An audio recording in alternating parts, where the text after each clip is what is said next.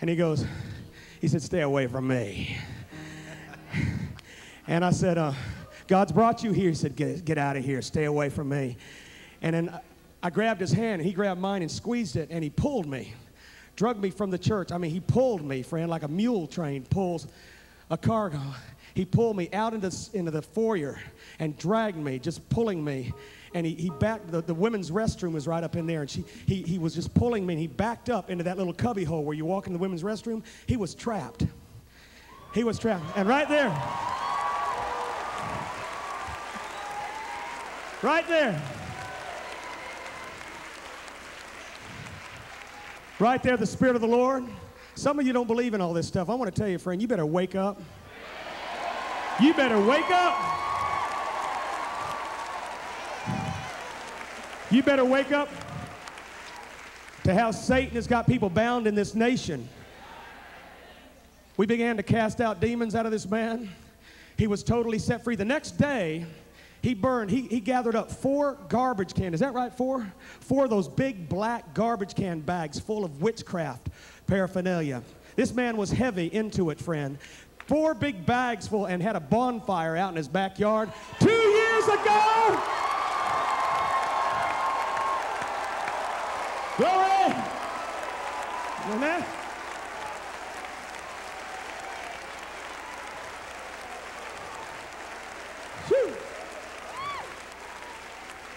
You may be saying, well, what on, what on earth is he doing right now? Maybe he's bowing before the Lord, friend. I don't know. But I want to tell you, he's in Bible school studying for the ministry. Well, Lindell, we're going to go on, but I, uh, one of the things that, that we have seen in this revival, see, the devil has messed up a lot of your lives. And he will, the Bible says that the Lord will restore the years that the locusts have eaten. This man has gone to the enemy's camp and he's taken back what the devil took from him. Can we do that one more time? God bless you, man. Glory! Well, I went to the enemy's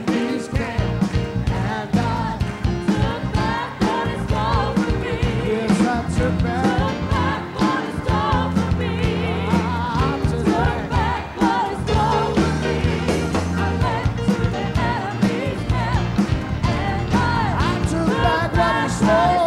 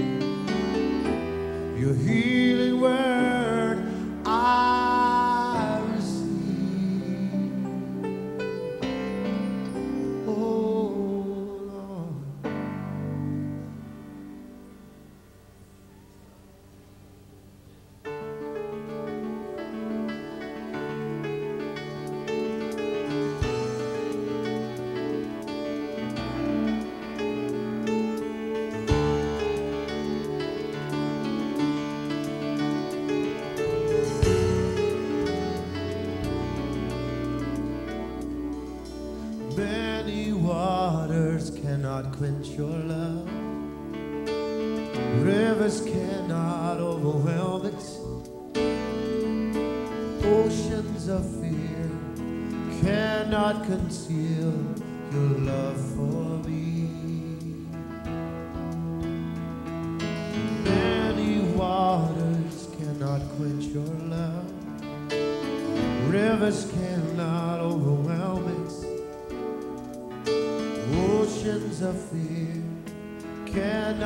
see.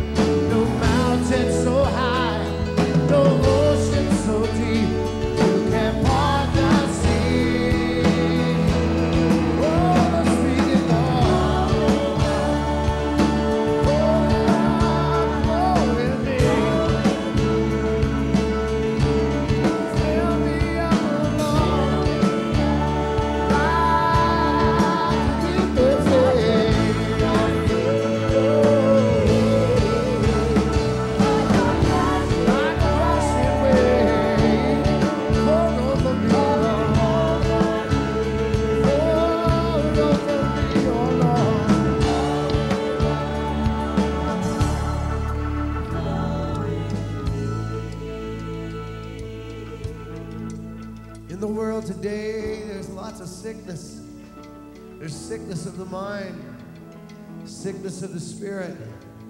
But the biggest problem is sickness of the heart. People are heart sick because they put their hopes in things that have failed. They put their hopes in the American dream, and it's built on pride. And the Bible says pride comes before destruction. They put their hopes in their family, and the family lets them down. Put their hopes in friends, friends let them down. Well, when you're weary and you're worn, and everything that you put your hopes in has failed you, people who are looking on at the revival like to say, everybody who goes to revival and goes to God for their help, they use him for a crutch. No, we don't. We realize that not only is he God, he's the great physician.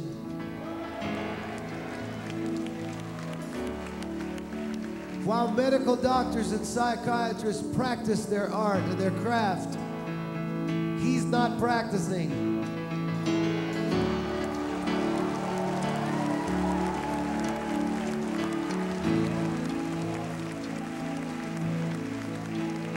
He's he's mastered the craft. Knows how to take a cancerous lung and replace it with a new one. He knows how to take an eye that has never seen the light of day and put mud in somebody's eye and say, go wash and see and see and see. He knows how to take the lepers of society. He knows how to heal AIDS. But most of all, and more importantly, he knows how to fix your heart.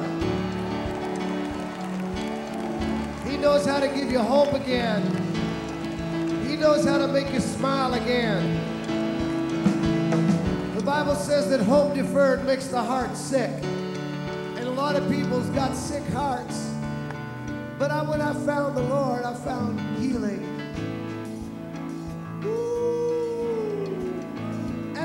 Nothing too hard for God. No problem been created that He can't solve.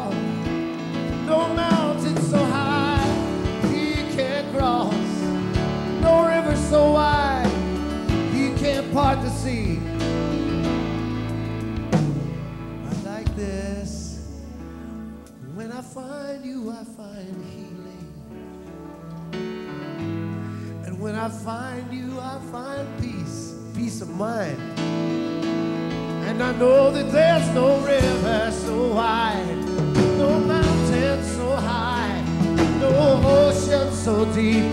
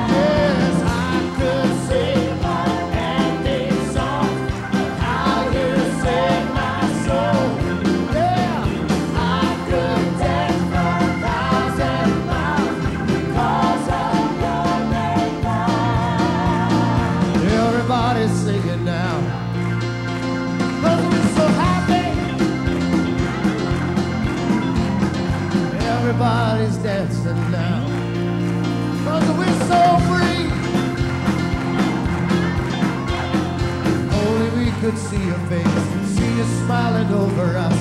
Unseen angels celebrate. Cause joy's in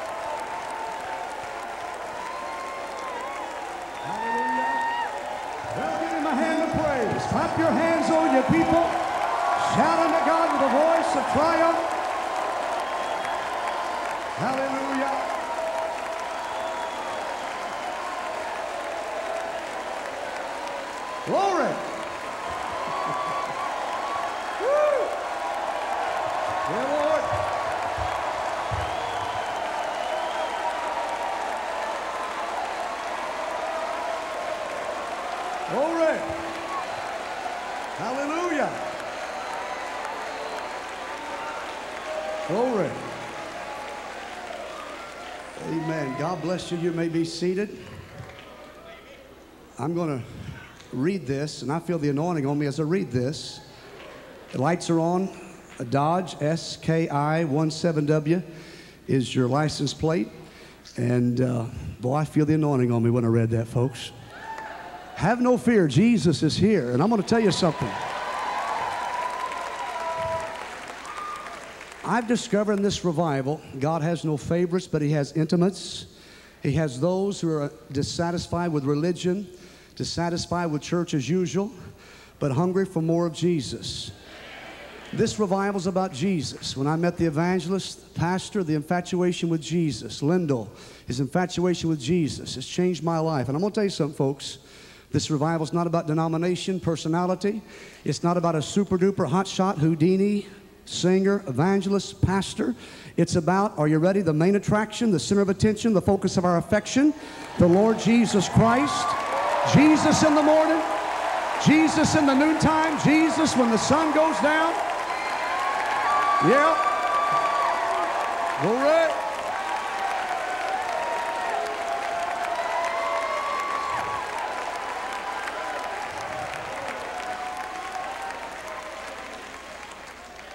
I love the Gospel of John. There are degrees of relationship with God. There are those who follow far off, and there's the 70, then there's the 12, then there's the three. He taketh with him Peter, James, and John, and goeth up.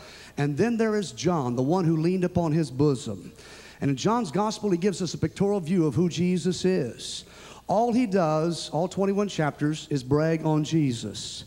In John chapter 1, the Word of God, Lamb of God, Son of God. Chapter 2, the Son of Man. Chapter 3, Jesus is the divine teacher. Nicodemus comes at night. Nick at night. And he comes at night. John chapter 4, Jesus is the soul winner. The woman comes with a water pot, she leaves with the well. Her life is changed. Chapter 5, chapter 5, he's the great physician. I've got good news. Lindell said it, I reiterate. When the doctor shakes his head, walks away from your bed, and says, There is no hope, there is no cure for your malady, how many knows there is one who can walk into your life, mind, body, soul, spirit? Jesus Chapter 6, he is the bread of life, wonder bread, never stale. Chapter 7, he's the water of life, satisfaction guaranteed. Chapter 8, they catch the woman in the very act of adultery. They drag her before Jesus. They've got rocks in their hand and rocks in their head. They won't have a rock concert. But Jesus is the defender of the weak. He never came to condemn or condone, he came to forgive. How many knows that's good news? Chapter 9, he's the light of the world. I left a service like this years ago. A man met me with a cigarette and said, Hey, do you have a light? I said, I sure do. Amen. I began to tell him. Chapter 10, the Good Shepherd. Chapter 11, the resurrection of the life. Chapter 12, the King. 13, the servant. 14, the great consoler. Let not your heart be troubled. You believe in God, believe in me. Lindell said it. How many knows he can heal your achy, breaky heart? Oh, yes, he can. Chapter 15, he's the true vine. Chapter 16, the giver of the Holy Ghost. Chapter 17, the intercessor. Chapter 18, the rejected Savior. Chapter 19, they call it Good Friday. It's a bad day. The worst day man's ever known. They shake their fist in God's face and beat his back, and it's a bloody mango mass of jelly swollen to a pulp, and he dies. And if the story ended there, all we would have would be a funeral dirge. Slow walking, sad talking. How many knows that all footprints lead into a grave? But there is one set of footprints that leads out on the other side. He didn't stay in the tomb. He kicked the bottom out of the grave and he jumped up shouting, It's Easter. How many knows he's alive? His name is the Lord Jesus Christ. This revival's about Jesus. Woo! Hello.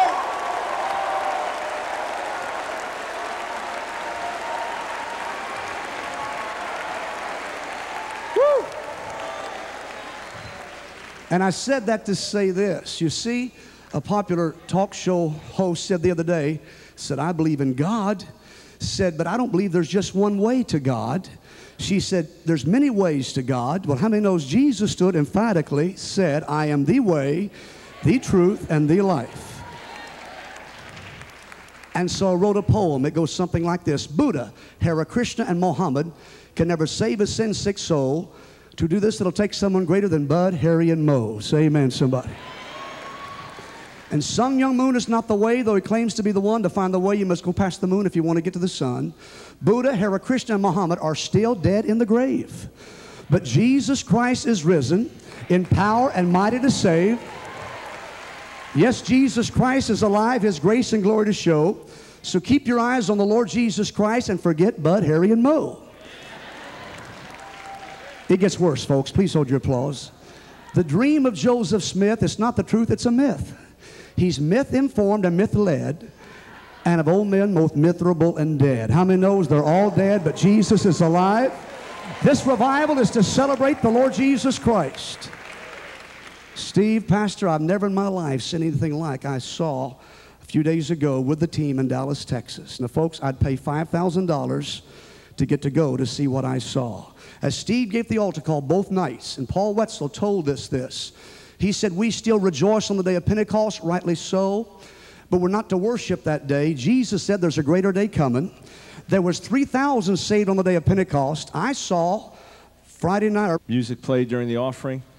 Uh, I'm uh, not going to sing though. Steve suggested I pray about it, and I got a quick answer.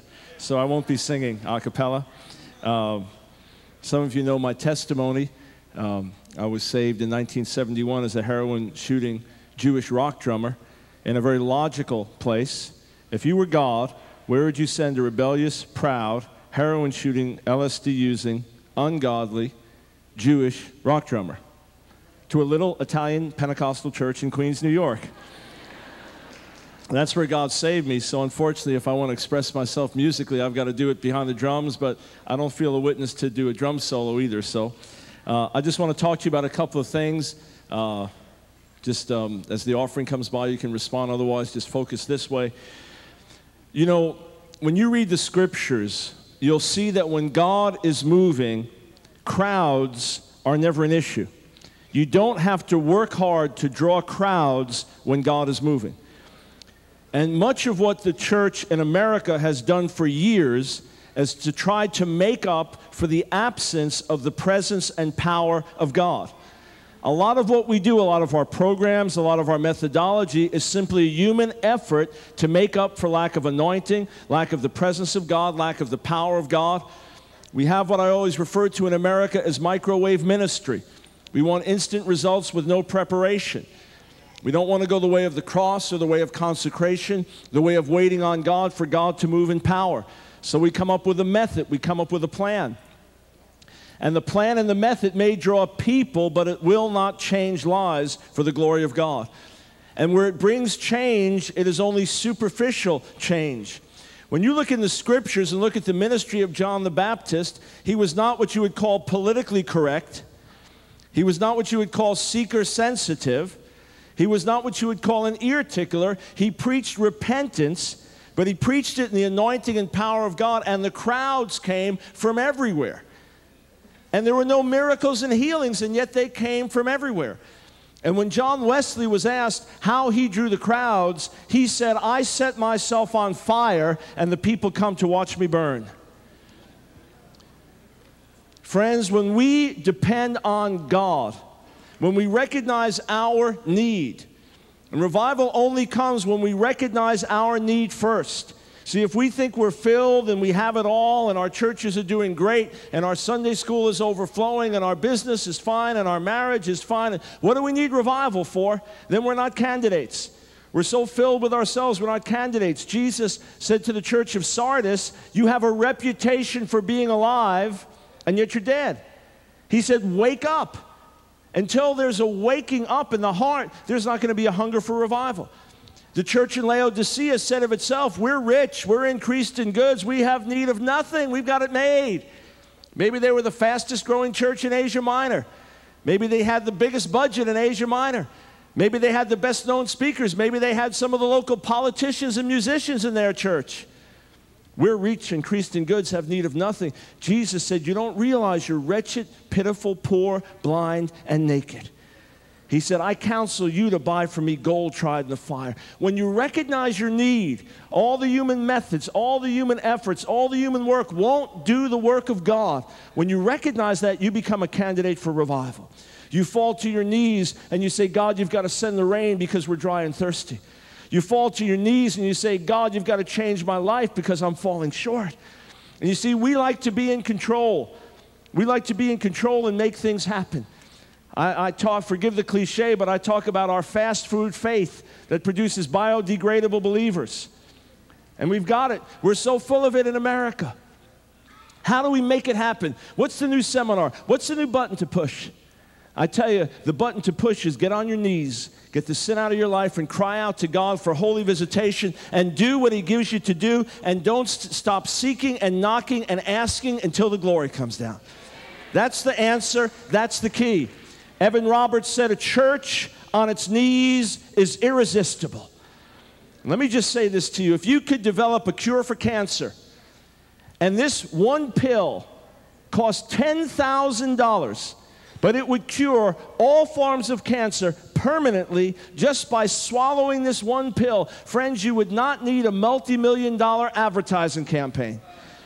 You could price that at $100,000 and the fact is, you would not be able to make them quickly enough. You'd have people trying to break into the factory to steal it, and everybody trying to copycat the formula at any cost, at any price, because they'd have to get it. If we saw one tenth of the people born blind miraculously and instantly healed, we wouldn't be able to keep away the crowds. And friends, when people come to the house of God and leave transformed, when they come, because people around here know what happens. Police officers in the area testify to what happens to people in the revival. Educators know about it. People come from around the country. Why? Because they heard that somebody met God and they were changed. And you didn't stand online all day. just to come here and, and sing for a little while. You could have stayed at home and listened to a tape. You didn't come here just to say you've done it. You could just order a t shirt that says, Been there, done that, you know? And you didn't stand here all day just to come to a meeting at the end to have someone pray for you. Someone says, well, they just push the people over. That's right. People come from around the world, stand online all day to have someone push them over. Makes a lot of sense. Speaks very well of your intelligence. And by the way, if you came that far, just have someone push you over, save your money, stay home, stand by the bed, and let someone push you over on the bed. Now, you came because you know someone whose life was changed by God. You saw God do what nobody else could do. You came because you heard a testimony or because you yourself found a hunger in your heart that can only be satisfied by the presence of the living God, and you heard that God was moving here. We had a man baptized the other day who kept talking about God bringing him to Brownsville, Texas, and saving his life. He didn't even realize he was in Brownsville, which is a neighborhood in Pensacola. He was talking about Texas. We've had people come from New Zealand and Germany come around the world to come here to get saved, figure it out. We had a woman get baptized a few months ago, a new ager from Sacramento, California who heard that God was in Pensacola. And she got on the plane, and instead of just hearing a message of, Do you feel it? Isn't he wonderful? She heard a message of repent, get the sin out of your life, only one way, the blood of Jesus, and she was saved. Yes. So let me encourage you, friends. There are no tricks, there are no gimmicks, it's the power of God setting people free through the gospel of Jesus Christ. It's holy living that opens up the heavens for God to pour out His Spirit. And I would encourage you again, as I said last night, get absolutely everything you can get from God while you're here. And let Him dig deep. If the surgeon says, listen, we can do a partial surgery and get half the cancer out, and, and we can do it in half the time, with half the recovery period, or we could operate twice as long. The recovery period is twice as long, but we will get every last trace of cancer out. You say, Get it all out, doctor. Get it all out. Friend, let God dig deep. You may have been at this altar repenting of something last night, and God puts his finger on something else. We've had people come up three, four times, and then they'll write us six months later, I am absolutely changed. And all the things I repented of, I left at this altar, and I'm free. I'll give you this last testimony. A man came in here who'd been an alcoholic for 40 years. Such an illustrative testimony. Alcoholic for 40 years. He was in the armed services. He said, I tried every kind of program to get free, and I couldn't get free. He said, Then I realized alcohol was not my problem, disobedience to God was my problem. He said, and I dealt with it at those altars. And I said to him, How long, this is months and months later, I was asking him this question, how long did it take you to get free? He said, Right there at those altars. When he nailed the problem to the cross, sin, and he died to it, he got up free and changed. Let God dig deep, friends. Tomorrow at 11 o'clock, God's laid it on my heart to speak on the holiness of God. One of the foundations of revival, one of the foundational things that God does in us is to produce holiness of heart. This is especially a session for all those in leadership and ministry. We do these every Friday full time Christian workers, ministers, ministry staff, but it's open to others that want to come as well. But in particular, this is for leaders. Others are welcome to come. We'll be talking about the holiness of God. That's at 11 o'clock. If you're in youth ministry, we have a special meeting with Richard Crisco. This will be in the choir room in this building at 10 in the morning. If you're in youth ministry, to have your questions on youth ministry answered. If you're in children's ministry, also at 10 o'clock in the morning here in the cafeteria, you can meet with Pastor Van Lane, our children's pastor, and across the street in the chapel excuse me, there'll be a youth meeting, our normal youth service that we're having in the summer for all teens and hungry young people across the street in the chapel at 10 in the morning, and then our session in here at 11 on the holiness of God. So come with an open heart. The Lord will meet you richly.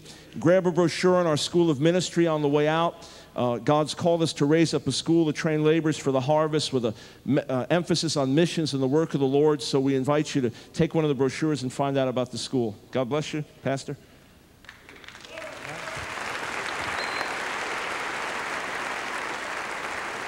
How many of you tonight are here for the very first time? Could we see your hand, please? Very first time. Wow.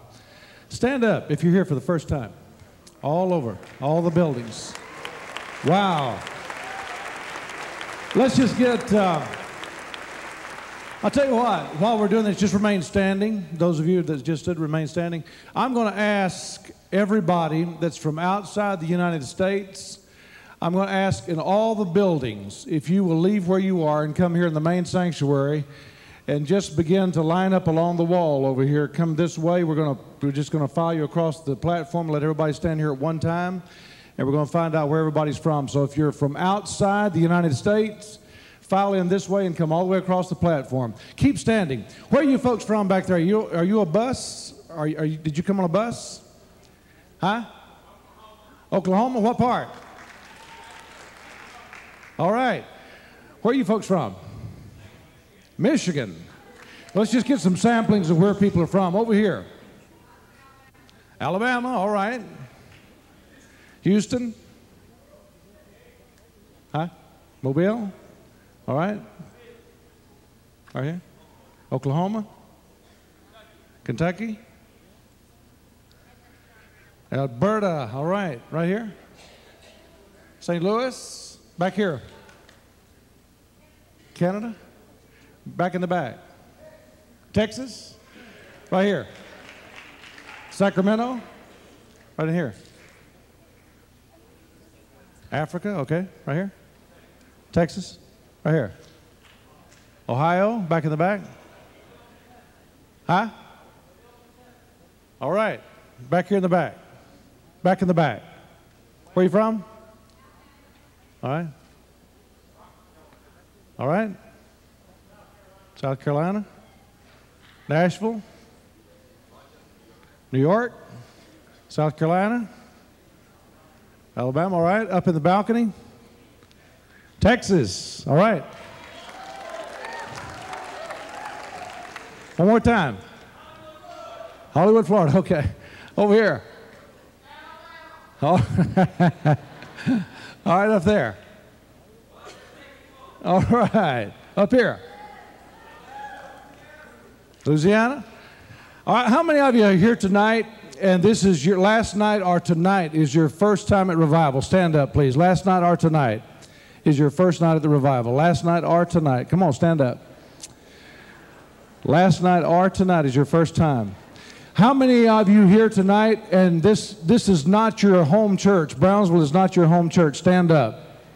If this is not your home church. Look at this. Can you see what would happen if Brownsville Assembly tried to come to revival? Brownsville fills up this church every Sunday, and they have to have tickets to get in their own church. And we open the doors up and from 9:15 to 9:40 for our people to come and get in their church on Sunday mornings. After 9:40, then the visitors can get in, and then we put them in the other buildings also. But you can tell tonight that just about everybody here is from somewhere else, and this is not their home church. Now, while they're continuing to gather from those outside the country and even here in the building, if you will, please just go ahead and make your way over. If you're from outside the country, even if you came up last night, that's fine. We want to just have you come up here and stand for just a moment. Everybody else can be seated. All right? From all the buildings, we want you to come over. I think that probably some of you that thinks that you came up last night, you shouldn't come tonight, but go ahead and come on anyway. Come on. If you came up last night, go ahead and come on. And all the buildings come quickly. Go ahead and start filing this way. Just come up here and stand with me, stand along the steps. We want to just get an idea where everybody's from. From all the buildings, come quickly. Help us out up here. John, help us out, brother. Take them all the way down, even on the steps over there, so they can just spread out. Come on this way. Come on this way. Just stack them.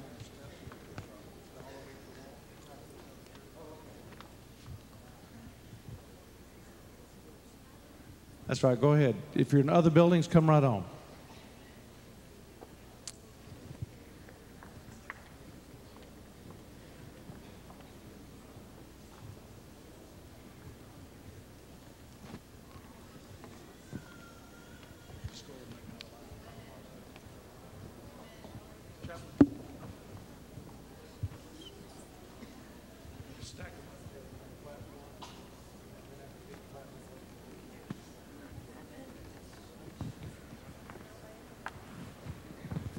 Everybody in all the buildings, come quickly.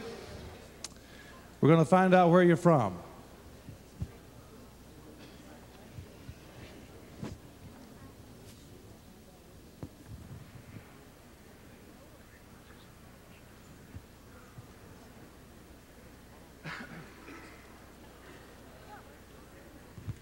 If you want to, you can just sort of move on the steps down there, just sort of stand on the steps a little bit, just move that way just a little bit so we get some more up here. There we go.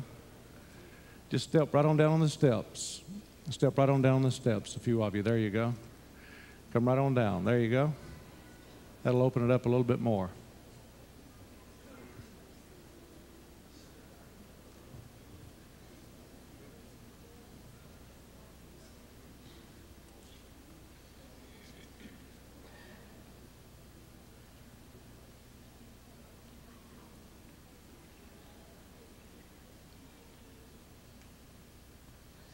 If you could do some DNA tests on our carpet, and on our pews, you would find hair samples from all over the world. all over the world.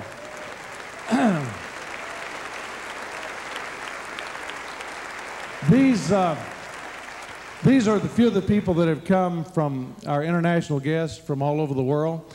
And I'm going to name some countries, and as I name the country, if you will, just raise your hand if you're from there. Uh, let's start off with uh, Canada. All right, England, Australia, all right, New Zealand, Japan, Korea, Korea. Uh, let's see. Uh, we had one here last night from Ethiopia. You still here? There you are. God bless you. Ethiopia. Uh, Latin American countries. Mexico. All right. Let's see. What's some I didn't name? If you're here and I haven't named your country, yes. Israel. All right. Yeah.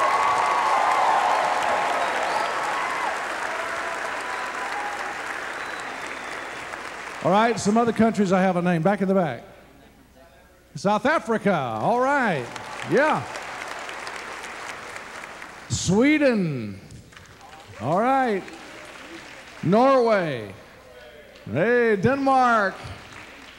You guys going to be getting married, aren't you? When you get married? One year. You sure? Hey, brother. I just feel like you need to get married before a year goes by. How many of y'all feels that way? Yeah. What do you say? What do you say? Huh? Marry him now? Hey, all right. Hey. Charlie, bring me my book. I'll do this. We'll handle this right now. All right. Uh, Is your face red or sunburned? Any other countries I haven't named yet? Over here. Huh? Wales, okay. I'm, I'm past 40. I don't hear as good as I used to. How'd you say that? Come here, let me say that for everybody. How'd you say that? I don't say it like that. Wales. Yeah. Wales. You know what I say? Whales. Say it one more time. Whales. Yeah, all right. Have we got anybody here tonight from Ireland? Ireland, huh? Germany? All right. We got anybody here from Ireland? What about Scotland? Scotland. Come here, brother. Tell everybody how you say Scotland. Oh, you're English. Well, how do they say it in Scotland? Bonnie Scotland. Hey! What about somebody from Australia? Australia. Is he a good one? Can he say it right? Can you say it good, brother? What do you want me to say? What do you think they say in Australia? Uh, g'day, mate. Is it Hey!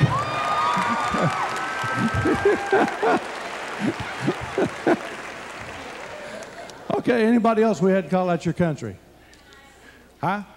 Cayman Islands, Philippines, Finland. All right, Finland, yeah. Panama, Argentina. All right. Yeah. Huh? Ukraine. Wow. That's a long way from home. Up here? Slovakia. Wow. Barbados? Huh? Mexico. All right. Yeah. Ukraine? Hong Kong, China. Wow. Well, tell me, what brings what brings somebody here to Pensacola, Florida, from Hong Kong, China? Very few people in Hong Kong knew about um, the revival in Pensacola, but I, I happen to know, and um, I, I, I knew that a group of pastors they want to come, and um, since I will come to America, they say go and see and prepare our way. Well, praise God.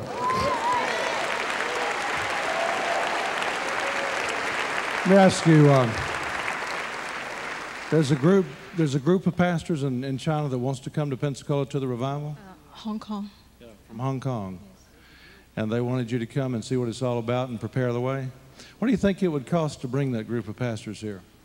You mean individually or the whole group? The whole group. We're talking about th- about 30 pastors from different denominations.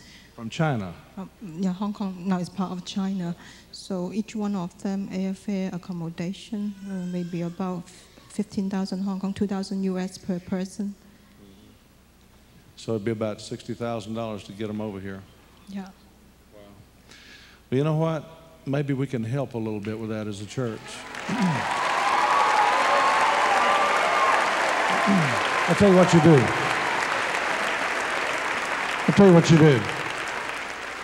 You go back, you get my address tonight before you leave here, you get our address, and you write me back in English.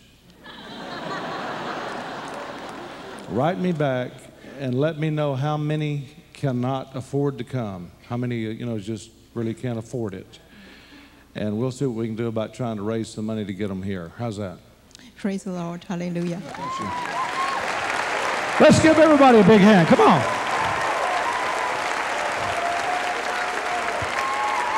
Give them all a big hand. You can be seated.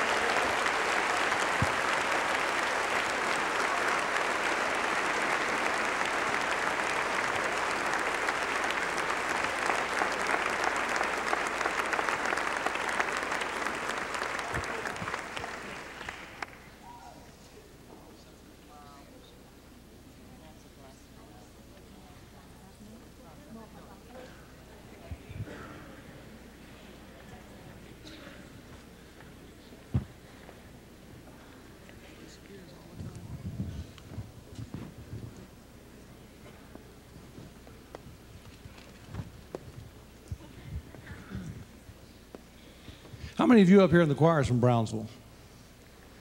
Come here just a minute. Yeah, come here. Let me have another one or two. Which one's from Brownsville? Come here, sweetheart. The blonde headed lady, yeah, come here. Yeah. Let's see. Uh, we have so many new people here at the church, I hadn't learned all their names yet. I'm from Brownsville. You from Brownsville? No. All right. Let's have a man from Brownsville. Where's one of the men? Come here, brother. I'm from Yeah. Brownsville.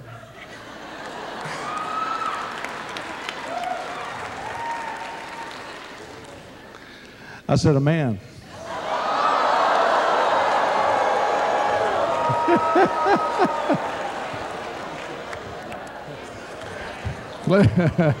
Wendell, you still remind me of a boy.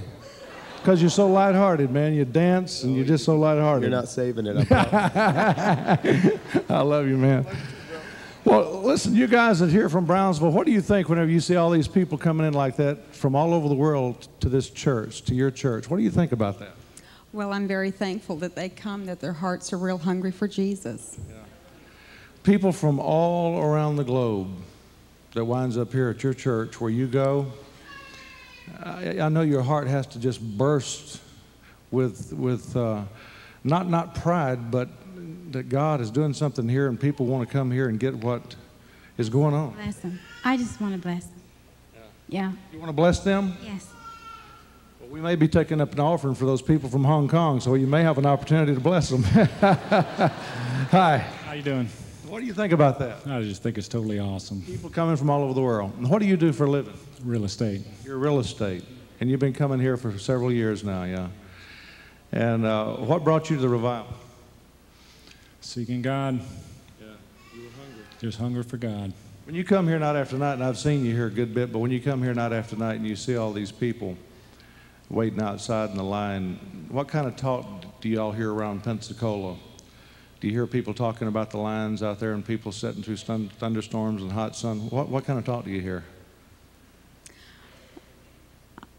I, I couldn't answer that really, Pastor, as far as the lines go. I don't know. I just know that everyone is hungry and um, that they're willing to wait in lines. I know when I drive by the church in the middle of the day and I look out and I see the big line and all the umbrellas and the coolers, to me it's as if if you could see on the other side, it would be the beach because that's what the scene looks like. Everybody, you know, it's just they're all lined up waiting to get into to the Lord's house, but it just looks like the beach. They're just there from the crack of dawn until until sunset. I mean, until you let let them in. Tonight we saw a, a newsletter from a Baptist church where a pastor said that he didn't necessarily agree with the charismatic doctrine, but he said we can sure learn a lot by driving by and seeing people standing outside waiting to get in that Assembly of God church out there. What, uh, when you see people driving by, well, when you drive by and you see those people out there, what do you think when you see that? I cry because I'm blessed. I know I'm blessed. The first time, I've, I've told the church here a number of times, but the first time that we ever, that I ever saw a bus pull up out here out front and unloaded people, I, I was with my wife and I, I broke down and started crying. I remember whenever people started coming here from all, uh, first they started coming like Georgia, Alabama, Mississippi, and then here, you know, in Florida. But then whenever they began to come from nine states, and then 15 states, and 30 states, I just couldn't believe it. And then when I began to see buses pull up outside, I, I just broke down and cried that God was doing something and people were so hungry. Today, ladies and gentlemen, We've got a nation that is desperately hungry for the things of God. And I want to tell you something. It sure behooves us that whenever they come, there better be the real thing going on here because, you know, God's not in the business of hoodwinking people. We better have the real thing. And if there wasn't the real thing going on here, people can come in and smell a skunk. They know when something is uh, contrived by man and they know when God's doing a work. But thank God He's bringing the people here and God is doing a work. Amen. Stand to your feet, please. Thank you.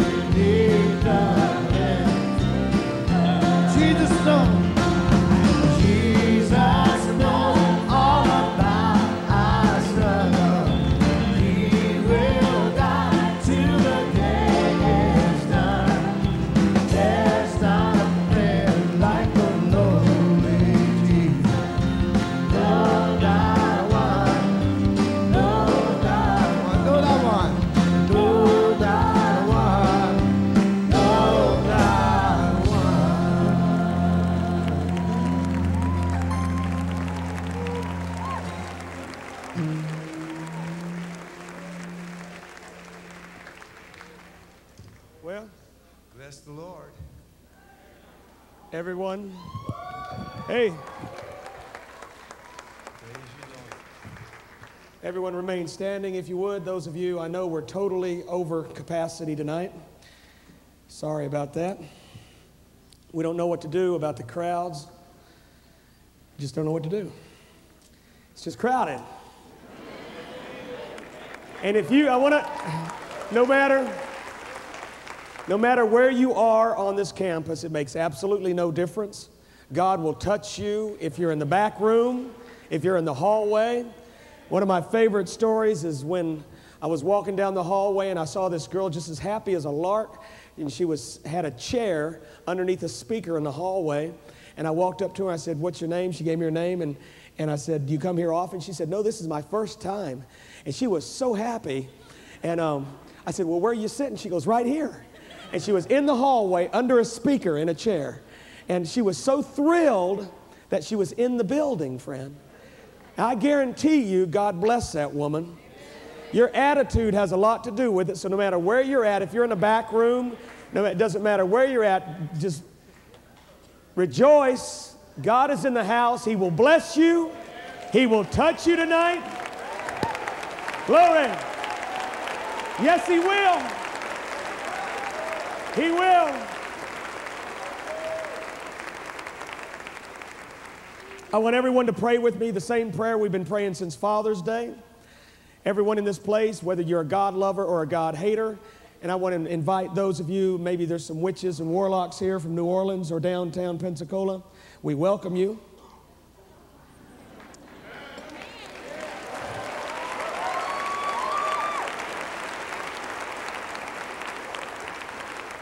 We want to thank you for coming. We ask that you and just please remain quiet during the service. Listen to the Word of God. Even if you've come to mock, please ra- pay respect to a public meeting. Uh, you are not behind this pulpit, I am. So keep your mouth shut during the service. This is not your turn, it's your turn to listen. Okay, that's why you're here.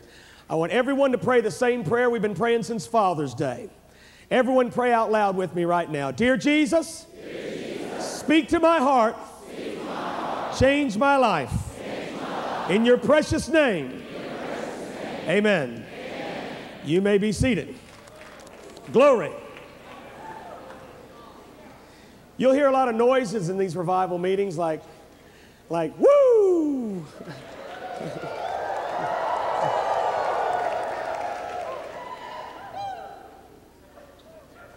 and you'll hear, shoo! And don't ask me what those noises are, friend. I just. I was praying with some folks one night, and I was so tired, and we just prayed for. I, I know I prayed for a thousand people that night, and I was just going along, and I just sometimes you just feel the presence of God all over the place, and I just I went, woo, like that, and this this one woman she said, "What does that mean?" I said, man, I don't know, lady. And then I just kept praying for folks, and I went, shoo. She goes, what did that mean? I said, it meant shoo. I don't know what it means. There's just an excitement here, friend. God's moving, He's changing lives, and uh, we just rejoice. And so quit trying, quit being so spiritual. I'm serious. Be, just back off and enjoy yourself and quit trying to analyze. You wear yourself silly trying to analyze everything.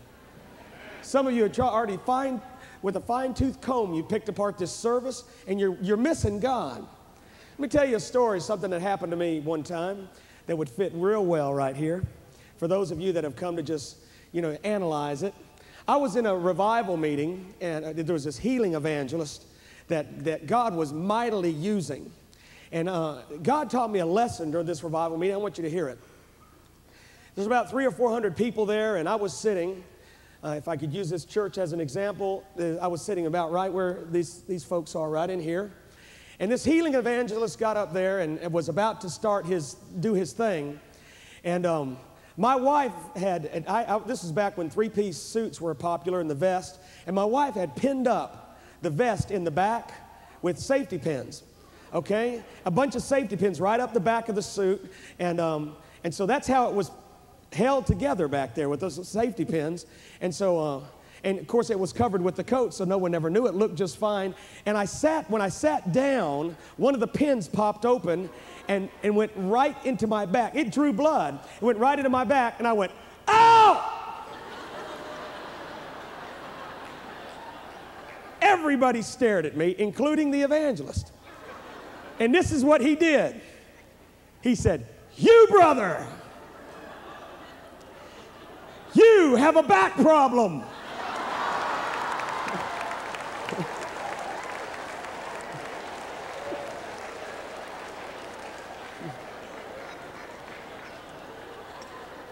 I did.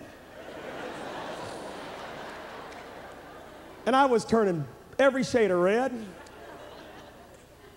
But he didn't, let, he didn't let up on that. He goes, Stand to your feet. So, so I stood up. He goes, Make your way out here, brother. God's going to touch you tonight. So, so I walk in front of 400 people. And this, this guy, he's a legitimate man of God. God's mightily using him. But you got to understand, people are human. Okay, get, get man off the high horse, friend. God's on the throne. Okay, and so I walk up there and he goes, he goes, I want to pray for you that God would heal your back. So he lays his hands on my forehead. He goes, In the name of Jesus, I pray for healing. Heal this back, Jesus. Take away this pain, God. Healing in the name of Jesus. He said, Go back to your seat. Boy, God's touched your life. So I went back and sat down, and, and I, I sat down and went, because, you know, it was over. No, I don't think so, friend. At the end of the meeting, it was testimony time. And he had prayed with all kinds of folks, and there was all kinds of legitimate things going on, but no, he had to pick on me. He goes, he goes, brother, you, yeah, stand up to your feet. And I stood up and I said, and I said to my to, to the Lord, just in my spirit, I said, Jesus, I will not lie. You better direct this man's questions.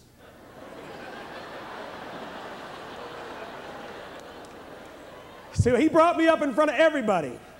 And he said, Brother, did you have a back problem a few minutes ago? yes, sir. Did you have a pain in your back? yes, sir. See, I'd already, I'd already closed the pen. And, and he said, Is that pain gone?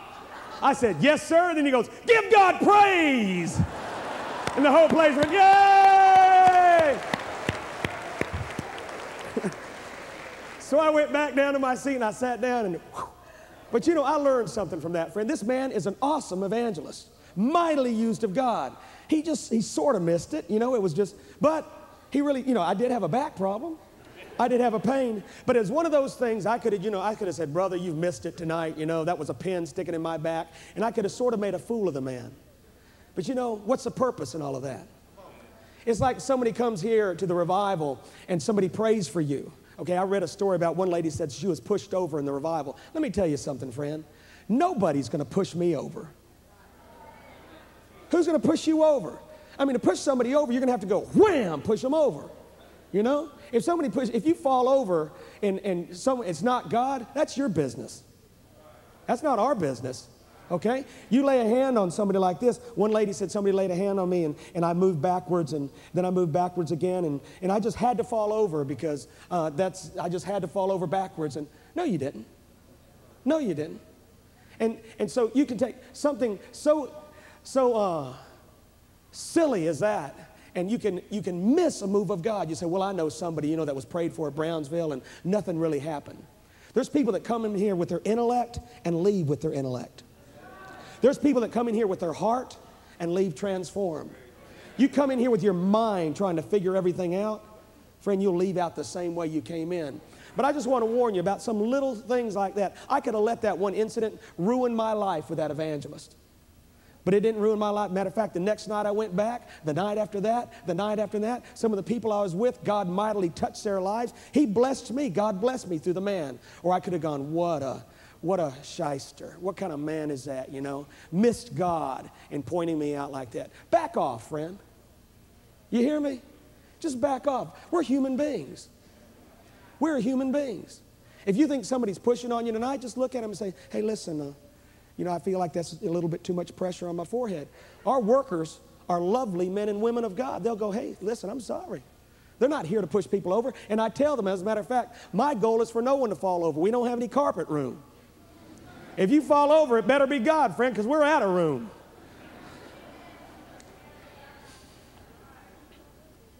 And falling over doesn't mean anything, anyhow. Although it's wonderful, it doesn't make you more spiritual than the next guy. The bottom line is are you open to Jesus? Well, get your Bibles. It's awfully early, but I am going to preach. Okay, thank you. I'll give you your 10 bucks later, brother.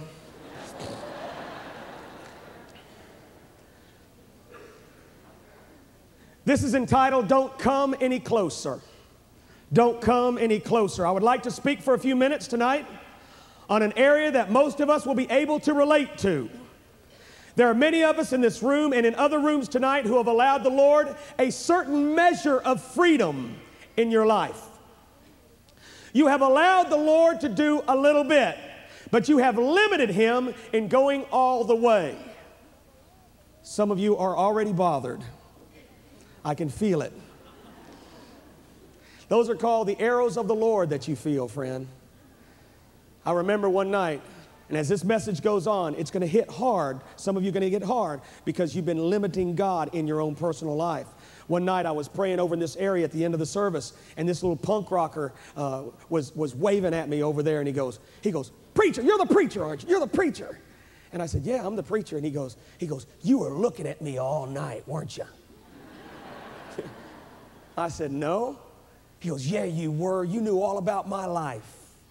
I said, I don't know you. Do I know you? He goes, no, but you were talking to me.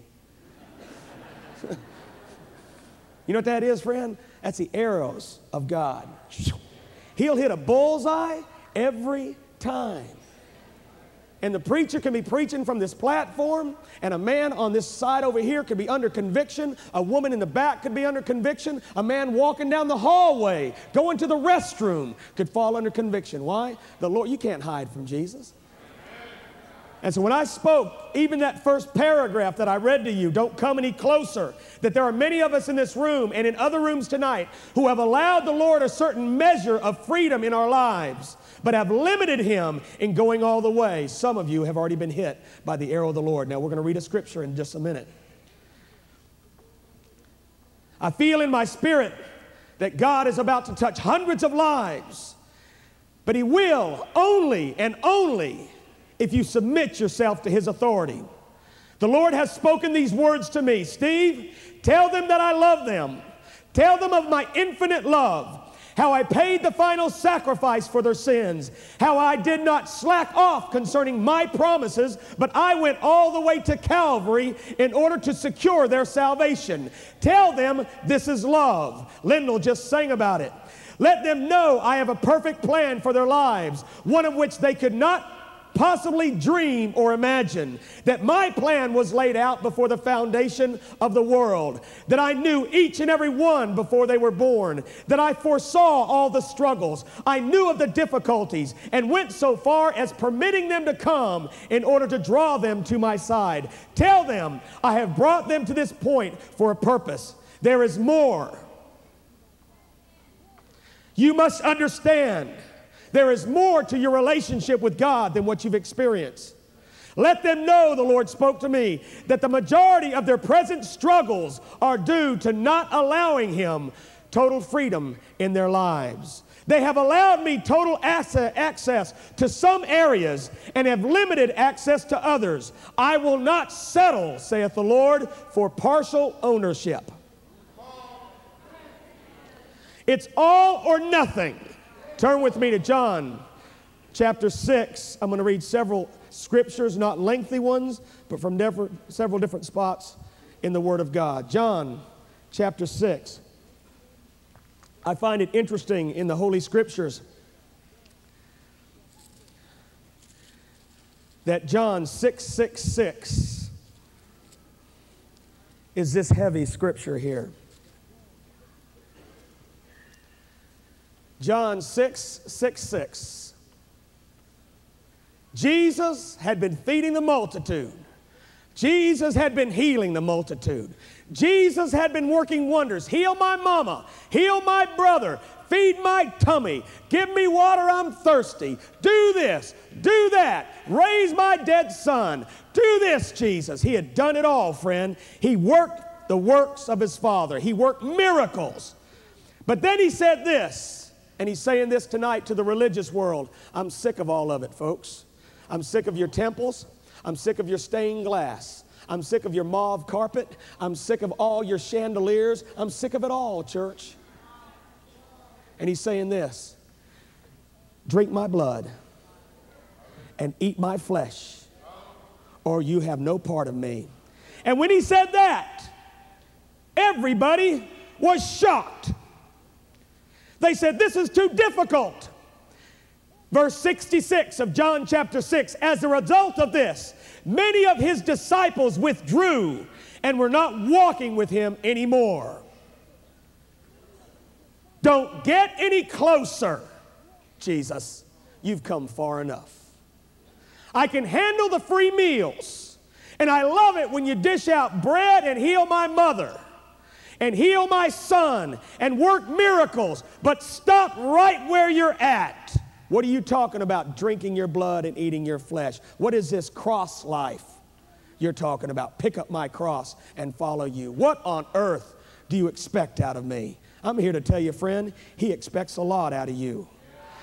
Look in the book of Acts. I was going to turn to a couple Old Testament scriptures, but I'm not going to tonight. Acts 26. A familiar scripture. Verse 27, this is Paul talking to King Agrippa. King Agrippa, do you believe the prophets? Acts 26, verse 27. I know that you do. And Agrippa replied to Paul, In a short time you will persuade me to become a Christian. And Paul said, I would to God that whether in a short or long time, not only you, but also all who hear me this day might become such as I am, except for these change. Here what he, here's what King Agrippa was saying to Paul. I like what you're talking about. You've done good, Paul, but hold it. Don't come any closer. You're getting to me. In a short while, you will persuade me to be a Christian. Be gone with you. Learn, turn, just flip a couple pages back to Acts 24. I'm telling you the scriptural precedence for what I'm speaking on tonight. It's in the Bible. Verse 24 of Acts 24. But some days later, Felix arrived with Drusilla, his wife, who was a Jewess, and sent for Paul and heard him speak about faith in Christ Jesus. Verse 25. And as he was discussing righteousness, self control, and the judgment to come, Felix became frightened and he said, Go away for the present, and when I find time, I will summon you. He was saying to Paul, Don't get any closer. You remember the story of the rich young ruler. And he said, Jesus, I've done this and I've done that. I've, I've, obeyed this commandment and that commandment. I've done all these things. And Jesus said, Sell all that you have and give to the poor and come and follow me. Whoops! Too close. Too close. The Bible said the man turned and walked away sorrowful. He turned away from Jesus. And some of you, friend, tonight, I want you to pay attention for the next few minutes. Some of you have said that very thing to God. Don't come any closer. Keep your distance. Well, he ain't going to do that, friend. He'll either leave or get his way. Don't come any closer. Let me give you a few points tonight. One of them, one of the ways that you say to the Lord, don't come any closer, has to do with your salvation experience. You say to the Father, you say to Jesus, you say to the Holy Ghost, don't come any closer concerning your salvation experience. Some of you friends are so close yet so far away. There are some here who have never known the Lord, and you've limited God by not believing He can save you. Perhaps it's easy for you to see God forgiving others, but you can't imagine Him forgiving you. Regardless of who you are, regardless of your background, regardless of your previous religious experience, Jesus Christ can save you and set you free tonight. But some of you are saying, he can't do it in my life. He won't do it in my life. It's okay for him to save your wife. It's okay for him to save your son and your daughter. Maybe tonight your son and your daughter are across the street in the youth meeting with Richard Crisco. There's a thousand teenagers over there going after God tonight. Maybe you're going, good. It's good for Betty. It's good for Sue. It's good for little Johnny and Bill, but not me. Don't come any closer, God, concerning my salvation experience. Friend, you better stay with me tonight. This is serious. You must believe that your name is included in God's list, His list of potential candidates for salvation. God wants to save you, friend. He wants to set you free. There's some people. Is, is Joseph with us tonight? Where are you at, buddy? Stand up. Joseph, my buddy Joseph. Yeah, come on, stand up, brother. I want to tell you something. First, I want to tell you I love you. I want to tell you something else, buddy. God brought you here how many days ago? About 10? Something like that? 20? A Couple weeks now. You want to know why? You're on his list, man.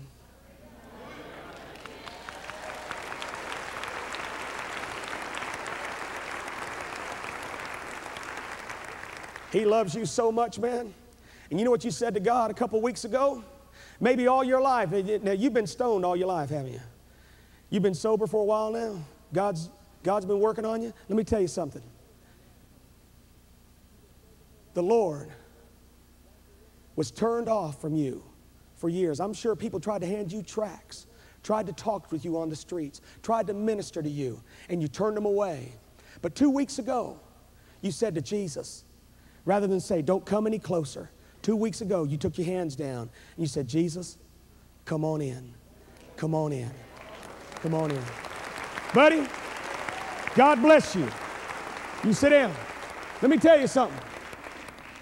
Don't come any closer concerning my salvation experience. Some of you have been fighting and fighting and fighting and fighting God. Joseph Justice, that stood a few, few minutes ago, for two years he's been saved now. But the time before that, friend, he fought God. He fought God constantly. And he was saying concerning his salvation experience, I'm a homosexual, God. You're not going to get a hold of me. You can't get a hold of me. I'm into witchcraft. I'm deep in it. Let me tell you something. Anybody that can come up with four full trash can bags full of witchcraft paraphernalia, they're into it.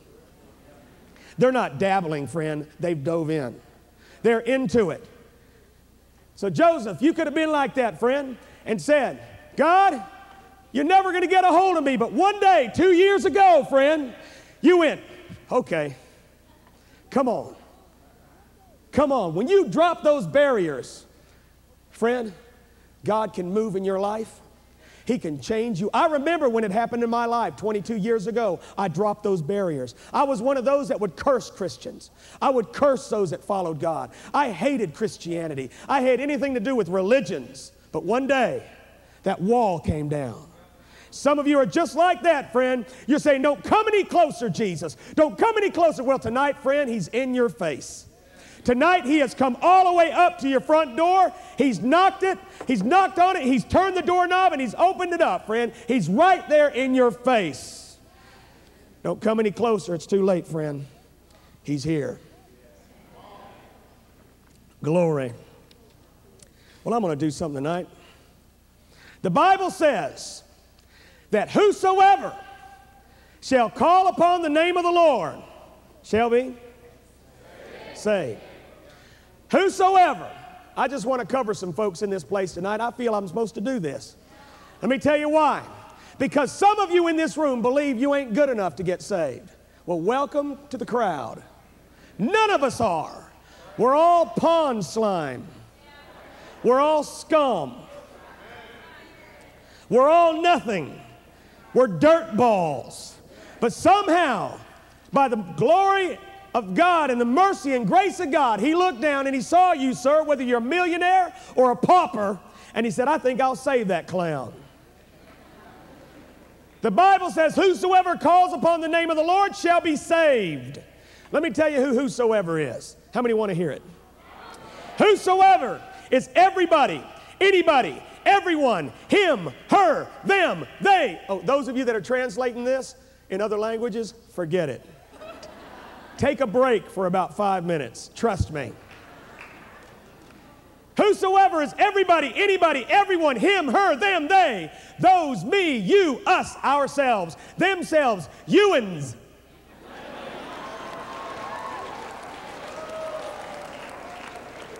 Y'all.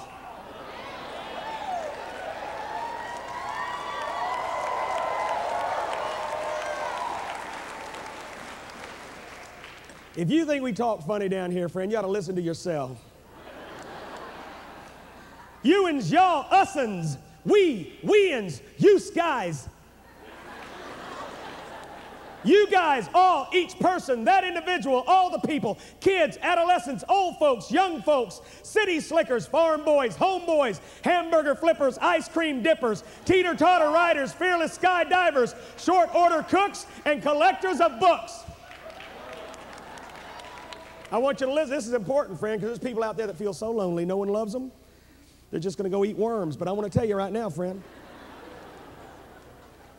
There's somebody in this audience tonight. They work at Krystal Hamburger, the, the midnight, the graveyard shift, and all they do all night is flip those little square burgers. They think nobody cares about them. But I'm telling you tonight, friend, teeter totter riders, fearless skydivers, short order cooks. That's you, Bubba. And collectors of books, smart people that teach and mooches that leech. Michiganders from Kalamazoo and citizens of Timbuktu, butchers and bakers and candlestick makers. Whosoever shall call upon the name of the Lord shall be saved. Well, we're not finished. I promise you, by the time I finish this, everyone in this room will have been covered.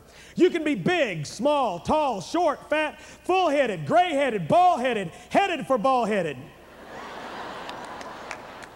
Big bone, medium bone, small bone, blonde hair, black hair, red hair, green hair, gross hair, red, yellow, black, or white, you are precious in His sight.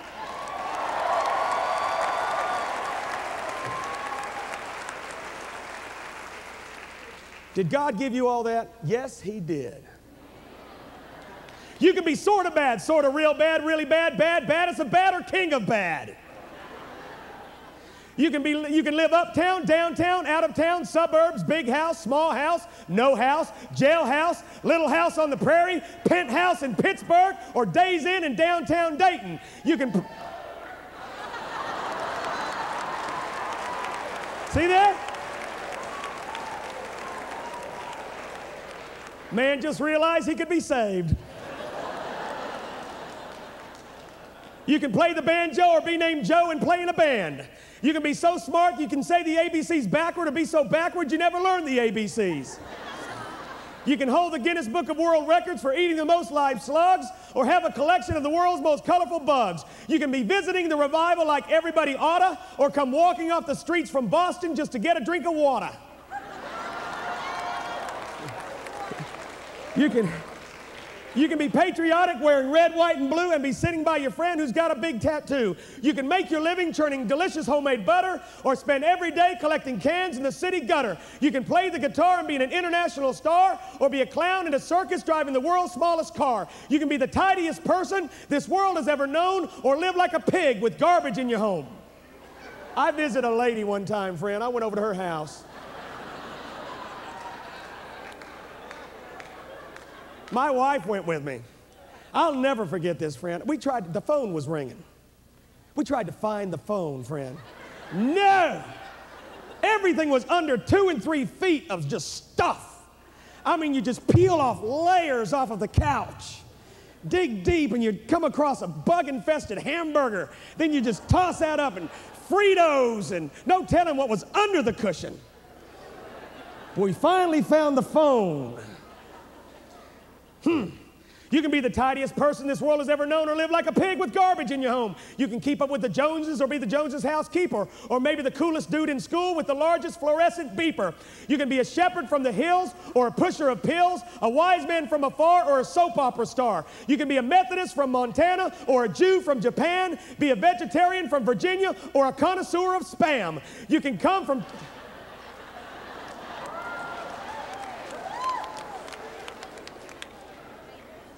You can come from Texas in a Lexus. Y'all got a Lexus? I said, you got a, you got a Lexus? He goes, yes, by faith.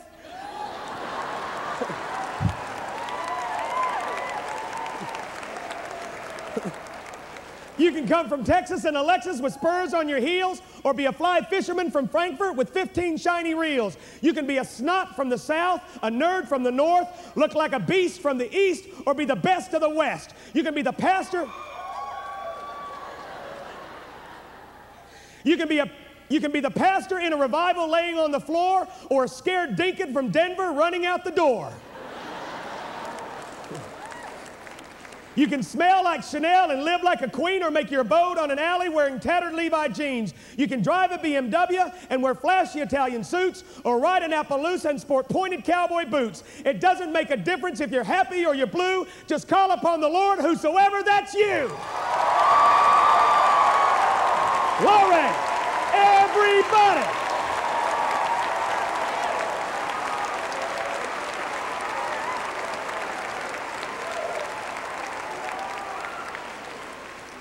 Jesus wants to get a hold of your life, friend. It doesn't matter who you are, it doesn't matter where you're from.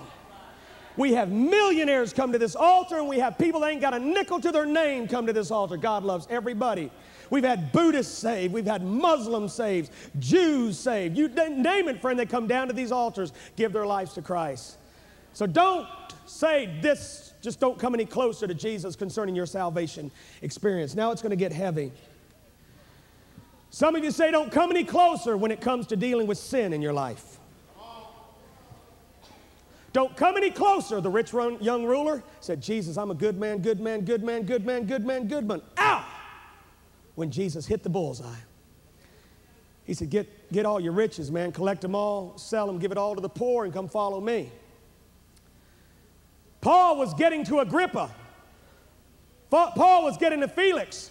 He was getting to these folks, friend, and he was dealing with sin. He was preaching righteousness, holiness, the judgment to come, and it started bothering these guys. He was dealing with the sin in their lives. How many times, my friend, has God spoken to you about a certain sin and you refuse to give in?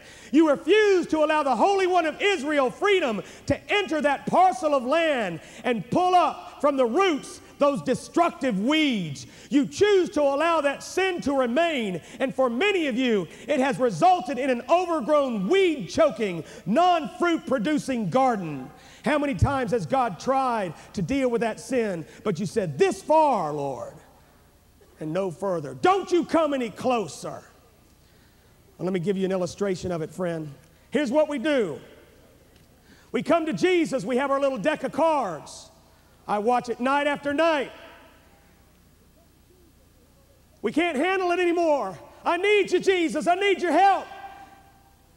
I'm distraught. And you hold up emotional stress. You say, Jesus, look at my emotions. I'm coming apart at the seams. My family's in shambles. Help me, Jesus who wouldn't want help with their emotional stress. I'm tired of Prozac. I'm tired of Valium. I want help, Jesus. I lay it down. Oh, take my emotional stress, dear Lamb of God. Take it, Jesus. You lay it down. Then you go, and Lord, you know my son, he doesn't want anything to do with me. He's on drugs, he's away from God. Lord, my family problems are too much to bear. It's all part of my emotional stress. Please, Jesus, take my family, heal my family. I'm talking about God dealing with sins in your life. You lay it down, you go, Oh God, I give you my family. Well, Jesus, tell you what, I gotta, I gotta, I gotta pour my heart out tonight. You know, one of the reasons I'm so emotionally distraught, and you know, one of the reasons I got family problems is because of my drinking and drug addiction. Jesus, I lay this down too. Take it away, Lord. Take away my problems tonight, Jesus. I don't want to do drugs. I'm sick of crack cocaine. I'm sick of alcohol. I'm sick of morphine. I'm sick of pills. Take it. I don't want to smoke another joint, Jesus. I want to be free. You lay it all down, and the Lord sees it. But He's got His searchlight getting closer to you. You've covered all these major things. You've come to Jesus with all these major problems you have. But see, you're holding some stuff behind your back. This happens all over America every Sunday. They lay all this down, they squall and bawl at the altar. It's horrible. Look what I'm going through, Jesus. Help me, help me, help me. And we all wonder why they get up and there's no change in their lives. It's because they got some cards behind their back. They're saying, Jesus, you can come this close. Take care of all this. He wants to go a little bit deeper, friend. See what he wants to deal with. And he'll nail you tonight in this revival, friend. It's all or nothing. You know that, don't you? He'll nail you. He sees that lust and pornography problem behind your back. Oh, you want healing from drug and alcohol addiction. You want your family problems to be taken care of. You don't want no more emotional stress. But the Lord's watching what you do behind closed doors. And He's going, son, the reason you got family problems, the reason your marriage is on the rocks, is because you're watching other women on that tube. Your eyeballs are off your little lady that I gave you, and they're on some other woman you don't even know. That's your problem, son. That's one of the major problems. You're having family problems. When was the last time you bought your wife some roses? When was the last time you took her out just for an evening, just you and her? No, you'd rather sit and watch some other woman on the screen. Here's one of the problems you have, sir your lust, your porno- pornography problem. Boy, it gets quiet. You know that? Listen up in the other overflow rooms. Read this card. Read it well at home. Maybe that's why you're sitting at home, because one day a preacher talked about lust and you couldn't handle it. So you're never going back to church again.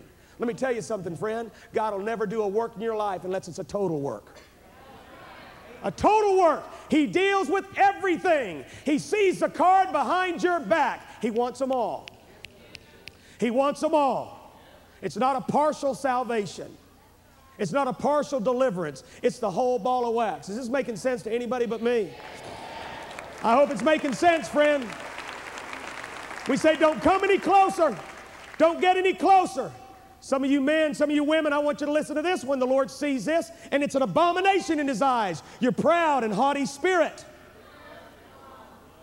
Who do you think you are? You're proud. You're puffed up. You think you're somebody. And you pour all this other stuff out to Jesus heal me, heal me, heal me. And you hold this thing back right here, it's behind your back. And the Lord said, Hey, buddy, unless you humble yourself like a little child, I'm never going to be able to do anything in your life. Who do you think you are? Macho man running the family with an iron fist. When are you going to get on your face in front of your kids and repent? Ask them to forgive you. I want to challenge some of you fathers and mothers. When you blow it, when you blow it and you know you did something wrong, I don't want any show of hands. But have you ever gotten on your knees in front of your kids and said, Forgive me when you've blown it? I hope you have. I've had to do that with my children. You know, when you blame them for something that they didn't do, and you accuse them and you didn't, they didn't do it, but you knew that they did it and you found out later they did not do it. Don't just walk up to them and say, Sorry, kid. Get on your knees. You're breaking that kid's heart. You're breaking his heart. But sometimes it's this thing right here, it's that haughty spirit, that proud, macho dad thing. How I'm not going to get on my knees in front of my 12 year old son. Then don't you ever expect him to get on his knees in front of God. Because he's watching you. You're Jesus to him. But the Lord is looking at this. He's looking at the proud and haughty spirit. And you're saying, Lord, don't get any closer. Don't get any closer. You've touched the hot button there. Besides that, I'm Italian. And we're all like this. No, I know some sweet Italians, Bubba. I know some humble Italians. I got red hair. Ain't got nothing to do with nothing, friend. Diet.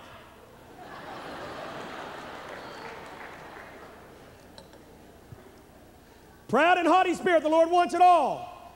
Or maybe the Lord looks at you and you got all these other problems you poured out, but He sees that greed thing that you got going. Greed. I want, I want to, gotta get, gotta get, gotta get more, gotta get more. Never satisfied, never happy. One of the reasons that I love my wife so much, not just because she's the most beautiful girl in the world, but I love her because she's never been wrapped up in this junk right here. She never cares. I can take her to a dress shop where they sell dresses just coming out your ears and if it's not something absolutely she needs, she won't even she won't even glance at them. And oftentimes we'll go to the mall and we'll go we'll go shopping and just look around, we'll come out with nothing. Why? She's not into it, friend. She's not into greed. She's not into keeping up with the Joneses. She's not making she's not into making sure everybody else notices her. She's not into this greed thing. I got to get, I got to get, I got to get. When we lived in Argentina and the economy went out the roof, and suddenly a bag of cement went from $3 to $13 a bag. Hector Ferreira, where you at, buddy? Hector is here with me. We were building a church. We built 13 churches down there. And one of this was a 3,000 seat sanctuary we were building down by the Andes Mountains. And I was broke, man. I was so broke. John Kilpatrick used to help me all the time. I'd call him years ago, ask him for finances. He'd always send me five grand, eight grand, three grand. Always helped me. Never turned me down, brother. Ever. He always helped me. But there was times where the bag of cement went from $3 to $13 in one day. That's inflation. It got so bad, people were throwing bricks through the grocery store windows, busting through the whole window, bringing their family inside the grocery store and eating. The whole family would just eat inside that grocery store. And then the police would come, arrest them all, and the man would look at the police and say, At least we ate. It was serious in Argentina. And during that time, my wife and I went into debt, serious personal debt. We went $25,000 in debt. We filled up every credit card. We took out loans from family. What for? To build, put a roof on a church. To put a roof on a church. And I remember turning to my wife. She never, ever got on my case for spending money on God's work, even to the place of going in debt, going in debt to put a roof on a church. She was always there. There's never a greed problem. She never said, Steve, we could go to Acapulco. Steve, we could buy a boat. We could buy a new car. What are you doing with that money? She's always give, give, give. Friends, some of you are so hung up on this right here. Money owns you. I don't want your money. That's not what it's about, friend. You give it to the, in the offering, God, God bless you. It's wonderful.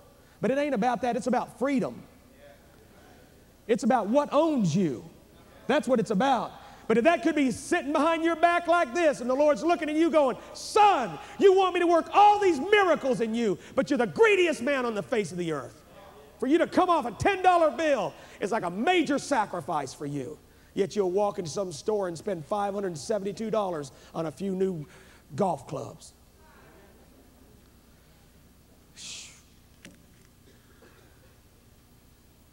Well, does that make sense? In dealing with sin in your life, you're saying, Don't come any closer, Jesus. I want to tell you, friend, the only way it works with the Lord is this He'll take all your cards, all of them, every one, and He'll give you one back in return. And it's called Savior and Lord. Every one of yours for one of His. Every one of yours for one of His. Savior and Lord. That's how it works. And for those of you that are struggling with Jesus, part of the reason is you haven't turned it all over. Well, don't come any closer, Jesus, concerning his perfect plan for your life. Write it down, friend. There's a lot of folks in this place that have missed it. Don't come any closer. I want you as Savior, Jesus, but don't you call me into the ministry. I want you as Savior, but I'm going to marry this girl that I've been dating for a year, Jesus. And he's going to you. You feel it in your spirit that she's not the right one. The Lord is telling you, but she's a knockout. She's a fox. You want to marry that girl. She's everything you wanted in a sex pot. She's what you want. And God's looking at you going, She's not the girl for you. I've called you into the ministry. She's going to drag you into the pits of hell. She'll fight you everywhere you go.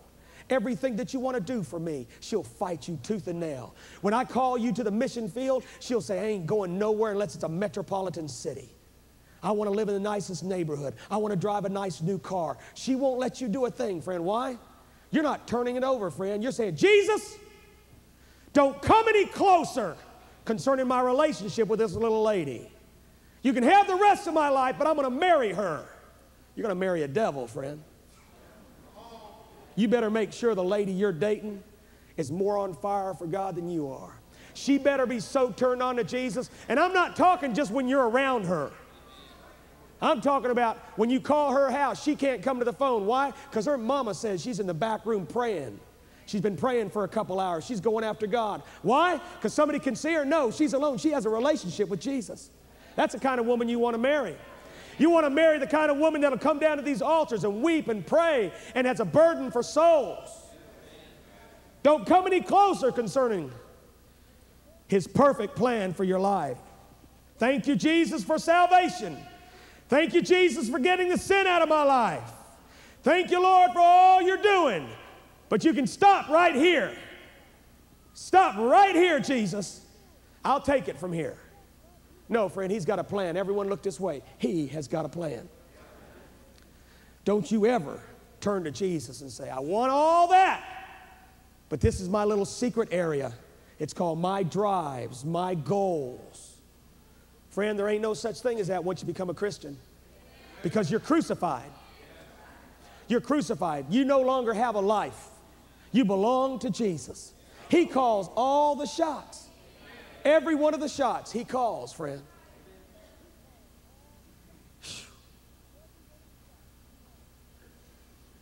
I'm going to be open to you, Jesus, as long as you let me marry Sandra. I'm open to you, Jesus, as long as you don't send me to India or Africa or the slums of Nicaragua. I'm open to you, Jesus, as long as your plan fits neatly into my package. It doesn't work like that, Jesus. Friend, it doesn't work like that. Is this making sense to anybody? It's the word, friend. It's the word. I love Saul of Tarsus's conversion. I love it because it's so everything is just right there. He gets hit by the power of God in Acts chapter 9.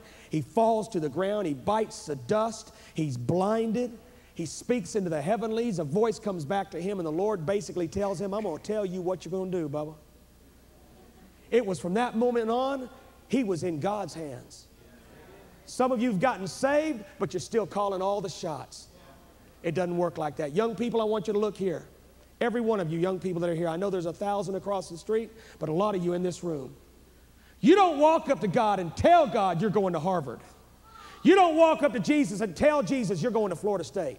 You don't tell Jesus you're going to Pensacola Junior College. You don't tell Jesus you're going to Lee College or the University of Alabama. You don't tell him you're going to Vanderbilt. You don't tell Jesus you're going to be a nurse or a doctor. You don't tell him you're going to be a basketball player. You don't tell him this and tell him that. You come up to Jesus, you get on your face, and you say, Lord, what would you have me to do? What do you want me to do?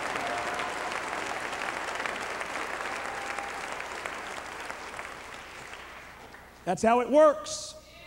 I'll never forget a man in one of our services. A young man came up, this is up in Ohio, came up to me and he was crying his eyes out. And he said, My daddy owns a big business in town. He said, I'm, I was, I've been in Bible school for the last six months, came home on vacation, and my dad said this. He said, Son, I will start you off. I will, the kid was 19 years old. I will start you off at $120,000 a year. Brand new home paid for by the business and your own company car if you would leave Bible school and come work in my business. And the kid looked in his dad's face. He said, Daddy, I love you.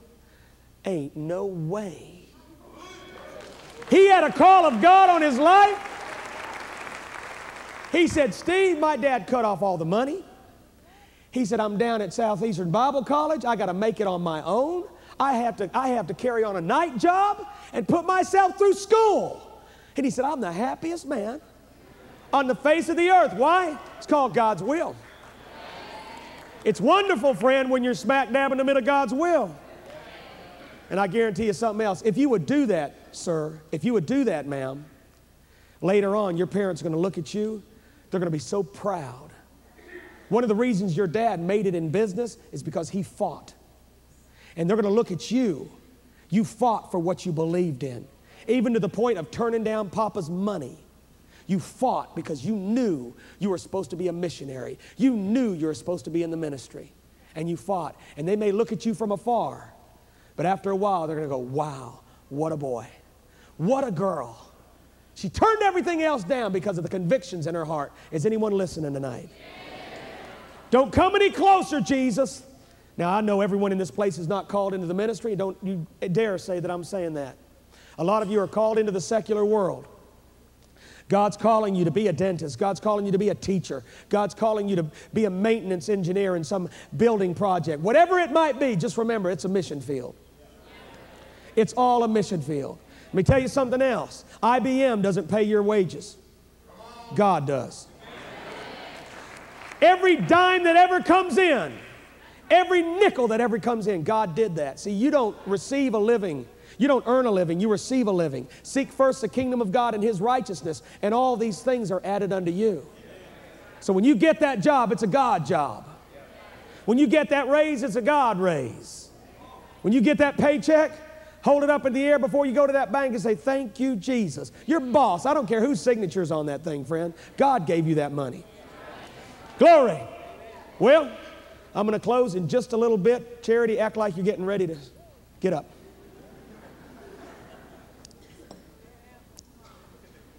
If you don't do this, I've got a couple more points, but I'm not going to share them. I want to share this one last one here. If you do not do this, if you keep saying to God, don't come any closer, there's going to come a day when you will wish you had said to Him, Come all the way in. There's coming a day you will wish that you had come forward at the Brownsville Assembly of God altar call on that Thursday night in July.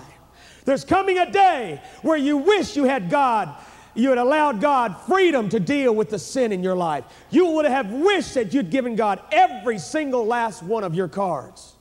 There's coming a day, friend. You would give anything for one last chance for Him to fulfill His plan for your life.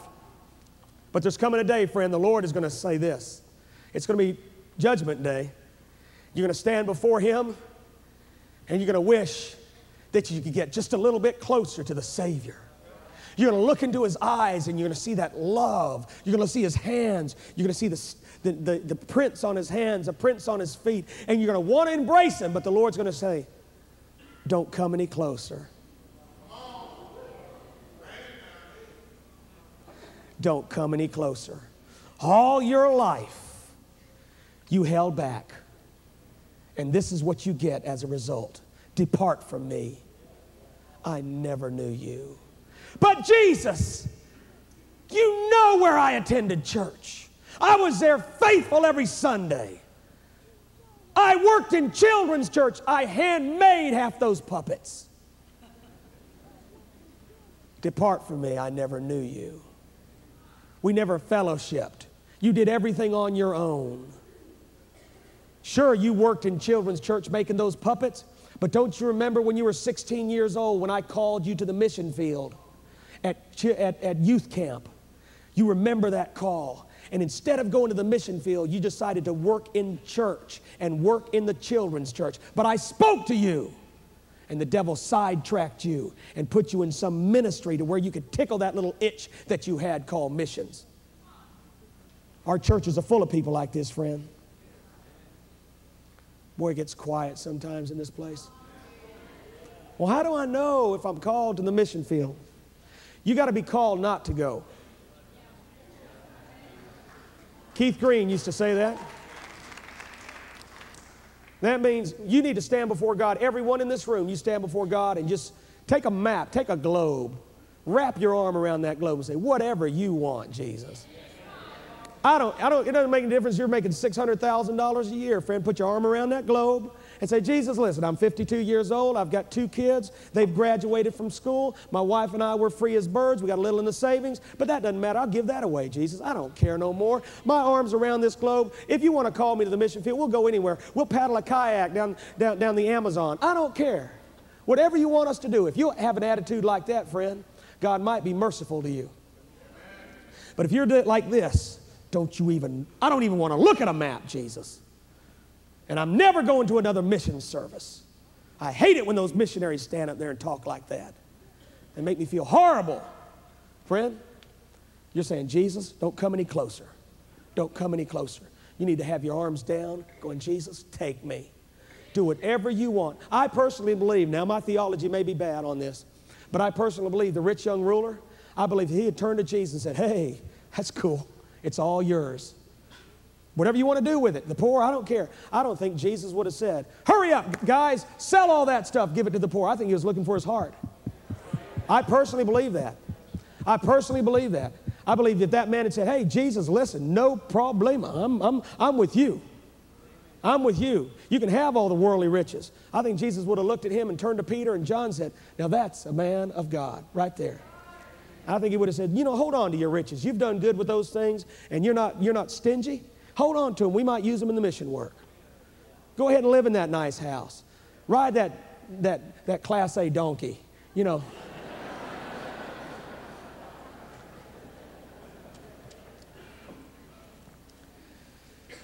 Whew. Don't come any closer.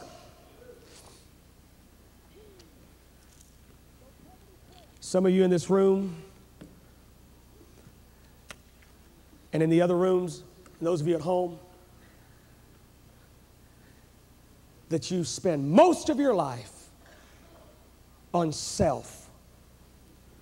If God would do anything in your life tonight, friend, to turn that around, and you spend most of your life on God things, on thinking about God, thinking about Him, what would He have you to do? When you wake up one morning and go off to work and it becomes a mission field rather than a place to make money. Your life would change, friend. It would be marvelous to go to work going, Jesus, is there anyone sick I can pray for today? Is it, who is it at work today that needs me, Jesus? Who is it that needs me? I was at Walmart the other day, and some of y'all go too far with evangelism, but this was hilarious. I was at Walmart the other day, and a Christian was working at Walmart, had the Walmart gown on and little badge and was preaching the gospel to a customer, man. I'm talking. Then I come walking by. He goes, There he is. Come here, brother.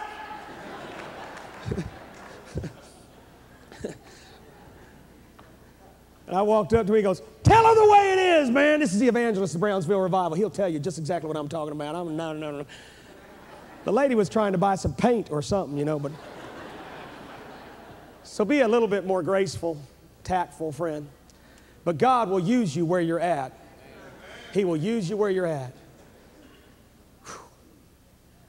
Friend, He's called you to His side for a purpose. Don't you ever hold up your hands and say, Jesus, don't come any closer concerning this sin in my life. Tonight you drop your hands. Sir, I can see you at home. As a matter of fact, I see a man sitting and you've got a tan coffee mug in your hand. It's a beige coffee mug. It's just sitting there. Matter of fact, the coffee's cold. You've just been spellbound to that thing and it's gotten cold. Just sitting there with that cup. Friend, I'm going to tell you something right now. God has put you right in front of that screen. He's telling you right now, give it all up. Get the sin out of your life. Come clean. Come clean. Don't ever say to Jesus, don't come any further. You say to Jesus, you can come as far as you want. Get as close as you want, Jesus. Consume me. Shine that searchlight in my heart. Take away the sin. Take away the filth. Take away the hatred. Take away the greed. Get everything out of me, Jesus. Have your way in my life. Everyone stand if you would. Those of you at the chairs, move them to the left and the right. Charity, come join me.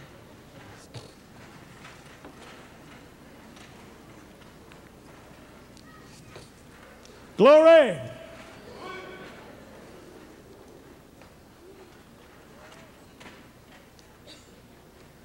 A lot of heads started dropping about halfway through this message.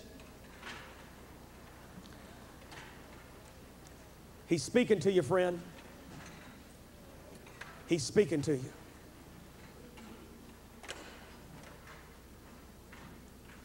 I often wonder what would have happened if Agrippa had said, Paul,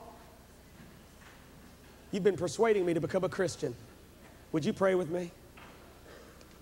I often thought about scriptures like that. If, if just he'd said, Paul, that is awesome, man. Instead of putting his hands up, he'd gone, Paul, would you pray with me? I want to become a Christian too. If Felix, rather than, and Drusilla, his wife, rather than turning Paul off, had said, Paul, you've convicted our hearts. We're in sin. And both of them got on their knees and said, Paul, we want Jesus to wash the sin away from our lives. They took their hands down and said, Jesus, come all the way in. Come all the way in. What would have happened if the rich young ruler said, Jesus, take it all? Take it all. Friend, don't be guilty of saying, Don't come any closer, Jesus.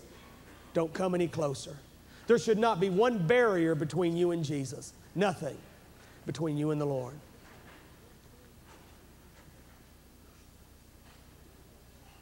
Hmm.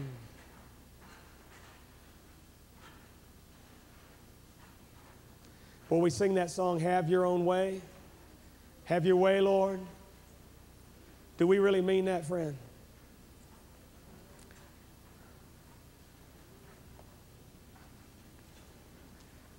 I'm going to give an altar call right now. Everyone, look this way.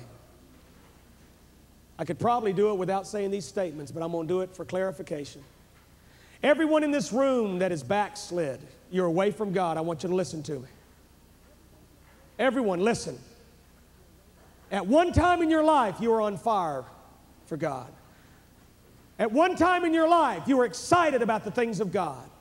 At one time in your life, you were consumed with God. But now you've grown cold. You've come, become dry.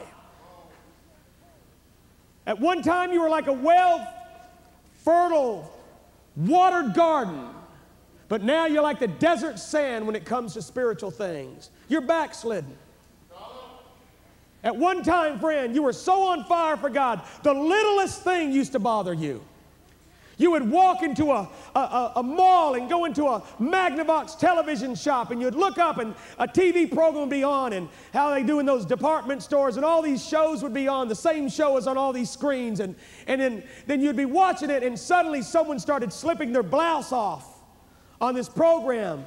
There was a time you'd have looked at that and just turned your head in disgust. Why? Because you had Jesus living in you. You didn't want anything to do with the world and the lust of the flesh. Or your son, your teenage son, would rent a movie and he'd plug it in, and all of a sudden they'd start saying GD this and GD that. And you'd say, Son, get that film out of that box.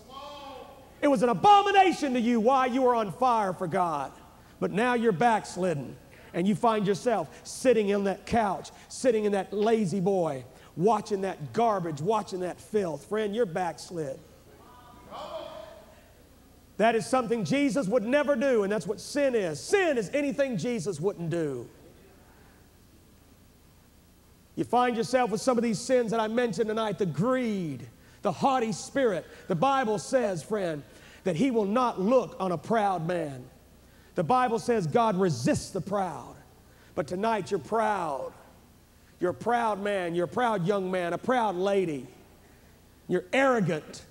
You're snotty to be around. You think you're somebody. Let me tell you something, princess. You might be a good looking gal and everybody's staring at you at school, but just don't you forget who formed you in your mama's womb. He's the one that smacked that nose in the middle of your face. And maybe when you were in there, it had a huge old wart on the side of it inside your mama's womb. But the Lord said, No, I think I'm going to make her a beauty queen. And He took that wart off. Maybe you're going to have some type of deformity, but God said, No, I think I'll make her just about perfect.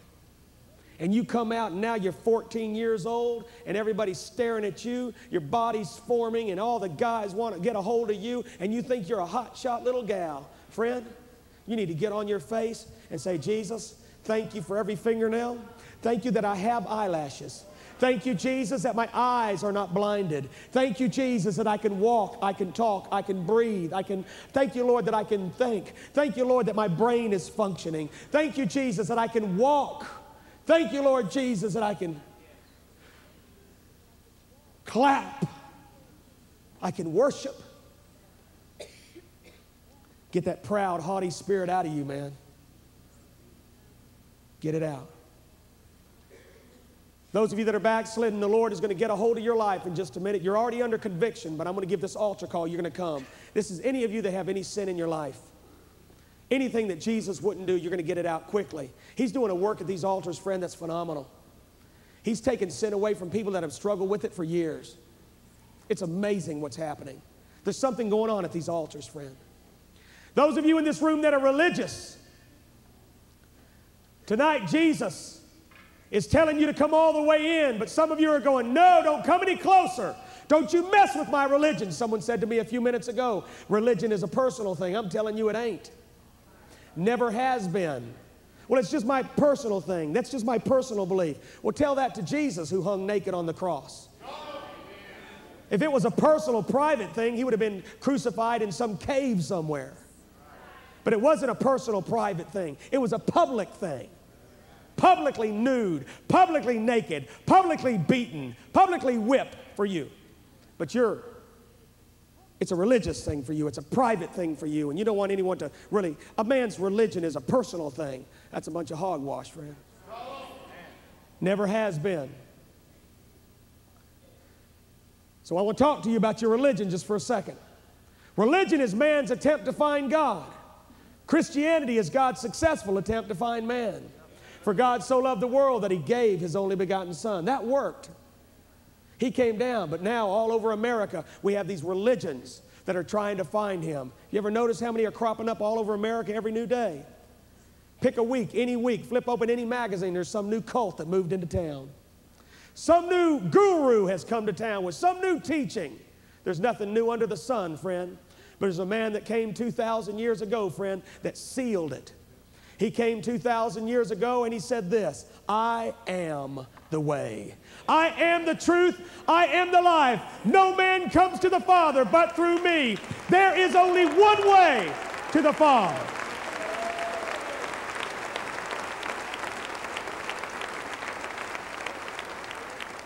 And he didn't say that there are other options. He didn't say you could get there another way. He didn't say you could join the Methodist Church and get into heaven. He didn't say you could be the founding member of First Baptist and make it to heaven. He didn't say you could be the head usher at Brownsville Assembly of God and make it to heaven. He didn't say you could be the evangelist that preaches at the Brownsville Revival and make it to heaven.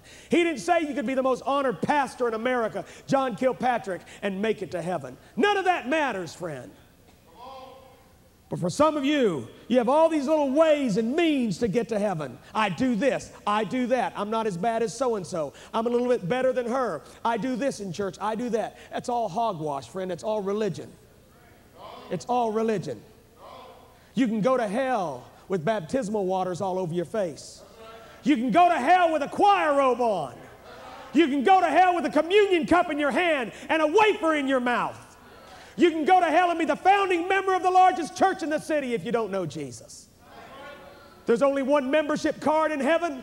There's only one that you'll find in God's archives, and it's blood red. You've been washed in the blood of the Lamb. That's the only way in. It's always been like that, and it always will be like that.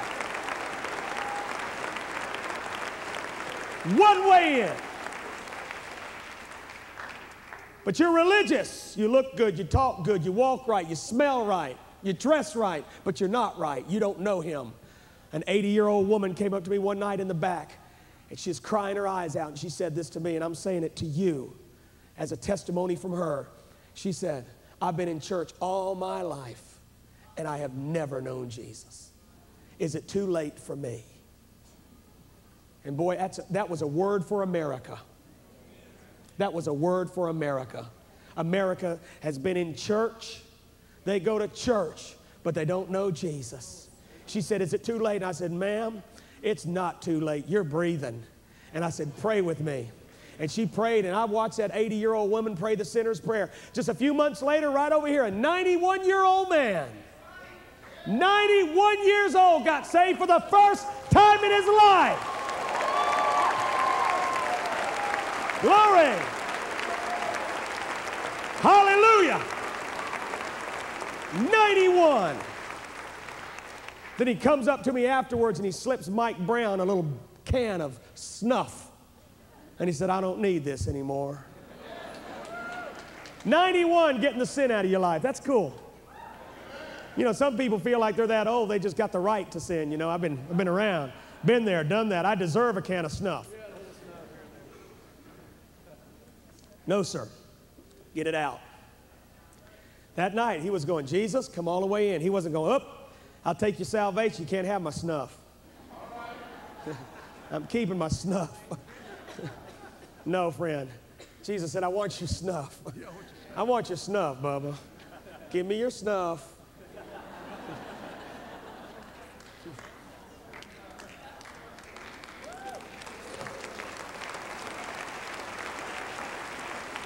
Well, you're religious, but you don't know the Lord. This will probably irritate some of you, but I'm telling you right now if you're not on fire for Jesus, then I question your salvation. You can get mad at me if you want. You can hate me, friend, but take it before the Lord. Stand before the Father. Stand before God. Go to your secret closet and stand there and say, That preacher told me I was supposed to be in love with your son, Jesus.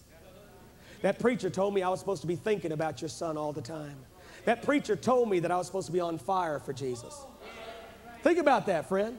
What do you think the Father's going to say? Who was that preacher? Where did he come from? What kind of garbage is that? I don't think so, friend.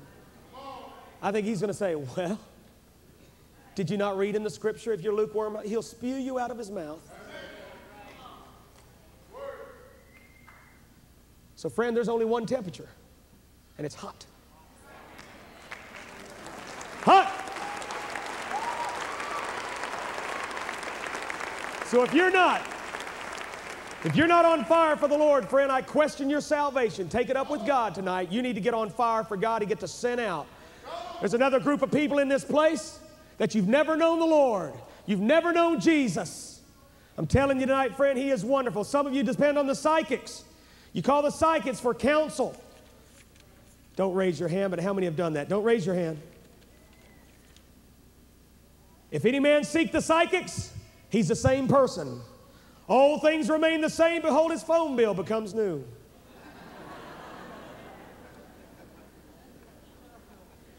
That's not scripture, but it's truth. If any man be in Christ, he's a new creature. Old things pass away, behold, all things are become new. You need tonight, friend. You need to meet the King of Kings and Lord of Lords. Some of you stare at the stars and just study all those constellations and, and read them and you map them out, and, and what a waste. I mean, I love the stars, they're beautiful out there, but I know the one who made them. I love, some of you spend your whole life studying butterflies and, and bed bugs and, and Big beetles. The other day I saw a beetle. I've never seen a beetle so colorful in all my life. They're everywhere, all over our lawn. These big, colorful beetles. They're marvelous. But I don't look at them and go, oh, dear God, a new species. And get down on my knees and pick up that beetle. I mean, that's wonderful. That's what you study for life, and you make a living studying bugs. But make sure you meet the one who made the bug. Make sure you know the one who made the bug, friend. Don't spend your whole life skirting the issue, going around and around and around. Get the one who made it all, friend. You can study the intricate details of a butterfly and then miss the creator of the butterfly. So tonight, if you don't know Jesus, you're a witch, a warlock, whoever you might be, whatever cult you might be from, or if you've never had a stick of religion in your life, you're just a just when it comes to God, He's never had a place anywhere. Tonight, if you'll come down to this altar, He will save your soul. He will turn you around. He'll make you brand new. He'll come into your life. Charity's going to sing Run to the Mercy Seat. Mercy is undeserved forgiveness. Undeserved forgiveness. Some of you need to listen to this. Everyone, look, this way. We're closing. One day, my children, and I'm going to close with this story. We're going to give the altar call. My children had done something wrong, my little boy and my little girl. We believe the scripture spare the rod, spoil the child. They had disobeyed a rule several times. They had disobeyed it, and their, their mercy was up. Okay? It was time to get a little licking. And so they, I called them into the bedroom, and they came in, and, and and I had on shorts that day, and, and I told them both to bend over the bed, and, and I was going to give them a spanking, and they both bent over, and I pulled my belt off, and, and they were just sitting there, and they, they, both got finished saying, you know, they, they said, I love you, Daddy, I love you, Daddy. And you know, I said, I love you too, bend over, you know, and you know how it is.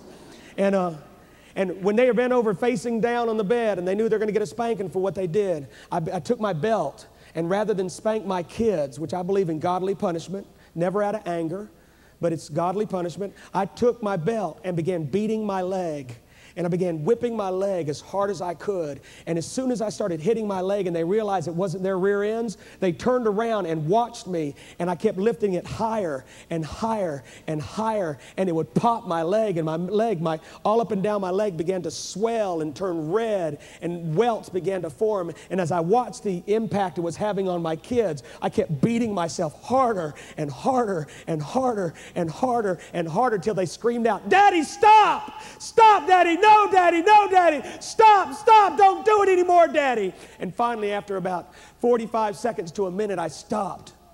And they looked at my leg. It was just beat red from being beaten. And I looked at my kids and I said, Let me tell you what Daddy just did. You were gonna, you were gonna get a spanking for what you did wrong. And it was gonna be nothing like what I took. You were gonna get a spanking for what you did wrong. But Daddy took that spanking instead. Ryan Shelby, don't you ever forget that Jesus, 2,000 years ago, took your spanking. He was beaten, he was whipped. He didn't ever deserve that punishment. Nails went through his hand, through his feet. He was spat upon. A plow was raked down his back. The flesh was just torn open. Muscle and, and, and blood vessels were punctured and, and then a beam was placed on his back, and he dragged it up to Calvary's Hill. Nails pierced his hands, his feet. And they, they were still crying. And boy, they, they, to this day, my kids both remember that. I said, Jesus paid the price for you, just like Daddy just then took your punishment. I love both of you, and I gave them both a hug, and I said, You don't have to get a whipping today. Daddy took your whipping. I want to tell everybody here Jesus took your whipping for everything you've ever done wrong, every adulterous affair, every marijuana reefer you stuck in your mouth, every crack cocaine you smoked, everything you've ever done wrong, every time you've cursed, every pornographic picture you've ever watched. He died on Calvary 2,000 years ago for you, for everything you've done wrong. When are you going to receive Him as Savior? When are you going to get down on your face and receive Him as Savior? When charity sings, run to the mercy seat. Mercy is undeserved forgiveness. You're going to come as quickly as you can, and the only thing that'll keep you back tonight is pride. And I've already covered it. Pride. That's that arrogant spirit that says, What will my brother think? What will my girlfriend think? What will my mother think? Who cares what anybody thinks anymore, friend? If there's sin in your life, you're going to come quickly. Do not hesitate. Do not wait. Right now, everyone who needs forgiveness, everyone who's away from God, hurry. Come on, get on your face before the Lord. Hurry. Come on. Come on, right now. I need the Lord. I need forgiveness in the balcony. Let's go. In the chapel, in the cafeteria. Let's go. Hurry. Hurry. Hurry. Hurry. Hurry. Hurry. Hurry. Hurry. Hurry. Hurry.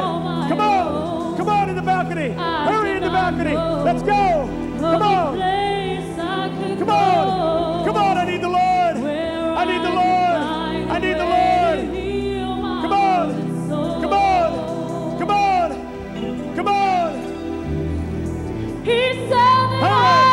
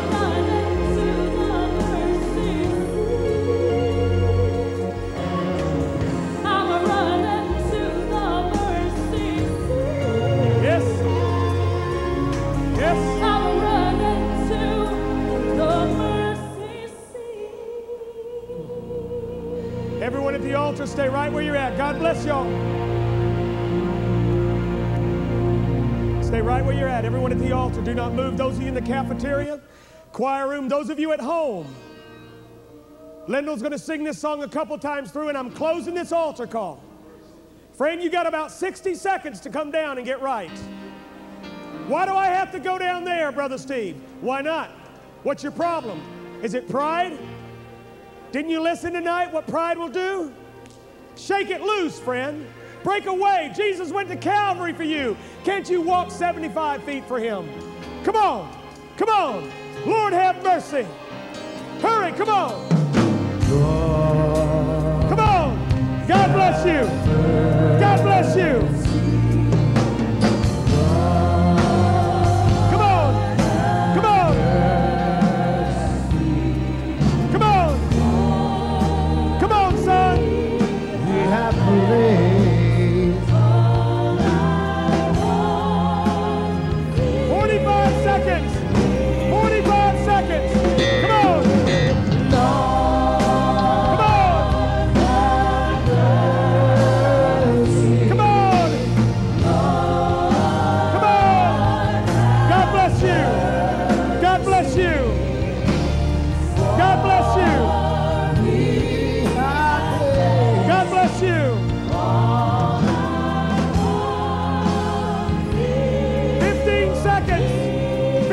Seconds.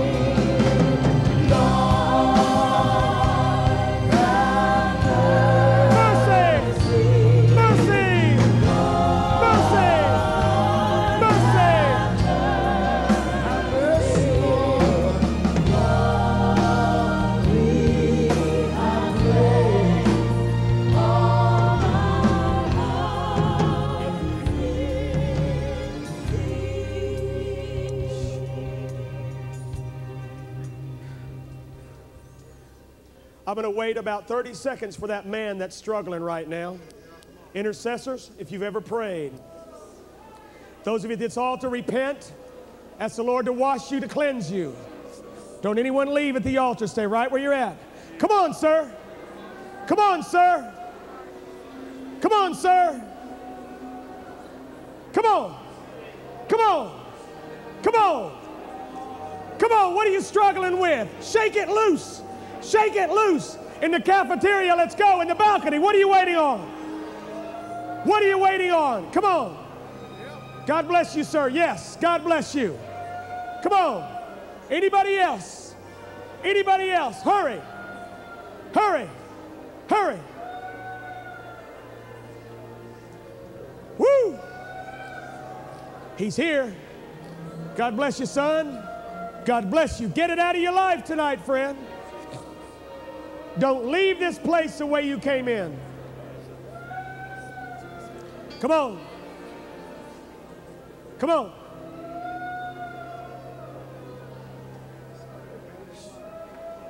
This is music in God's ears. This is why he died. This is what every awakening in America has heard. Repentance. Hurry. Hurry. You've got 15 seconds. 14, 13, 12, 11, 10, 9, 8. God bless you, son. 7, 6, 5. Hurry. God bless you. 4, 3, 2, 1. I want everyone at this altar to pray with me out loud. If there's ever been a time not to mumble a prayer, it's right now. You need to vocalize this, friend. You're going to be saying tonight to Jesus, come all the way in. You're going to drop your hands. You're not going to say, don't come any closer. You're going to say, Jesus, come as close as you want. Right now, I want everyone at the altar to pray with me. Dear Jesus, thank you for speaking to me. Thank you, Jesus, for not leaving me alone. Thank you, Father, for sending your Son that I might have life. Thank you, Holy Spirit, for speaking to me about my sin. And thank you, Jesus, for shedding your blood that I might have life. I ask you tonight, sweet Jesus, to forgive me. I have sinned. I have hurt you. I've hurt others. And I've hurt myself. Forgive me, Jesus. Wash me clean. Make me new. I repent of my sin. I ask you tonight to come close, real close. Be my Savior, my Lord, and my very best friend. From this moment on, I am yours, and you are mine. I give myself to you. Come live your life through me. From now on, Jesus, come close in every area of my life. I will never hold anything back from you. In your precious name. In Jesus' name. In Jesus' name. Amen. Glory. Hallelujah. Want everyone at this altar, want everyone at the altar.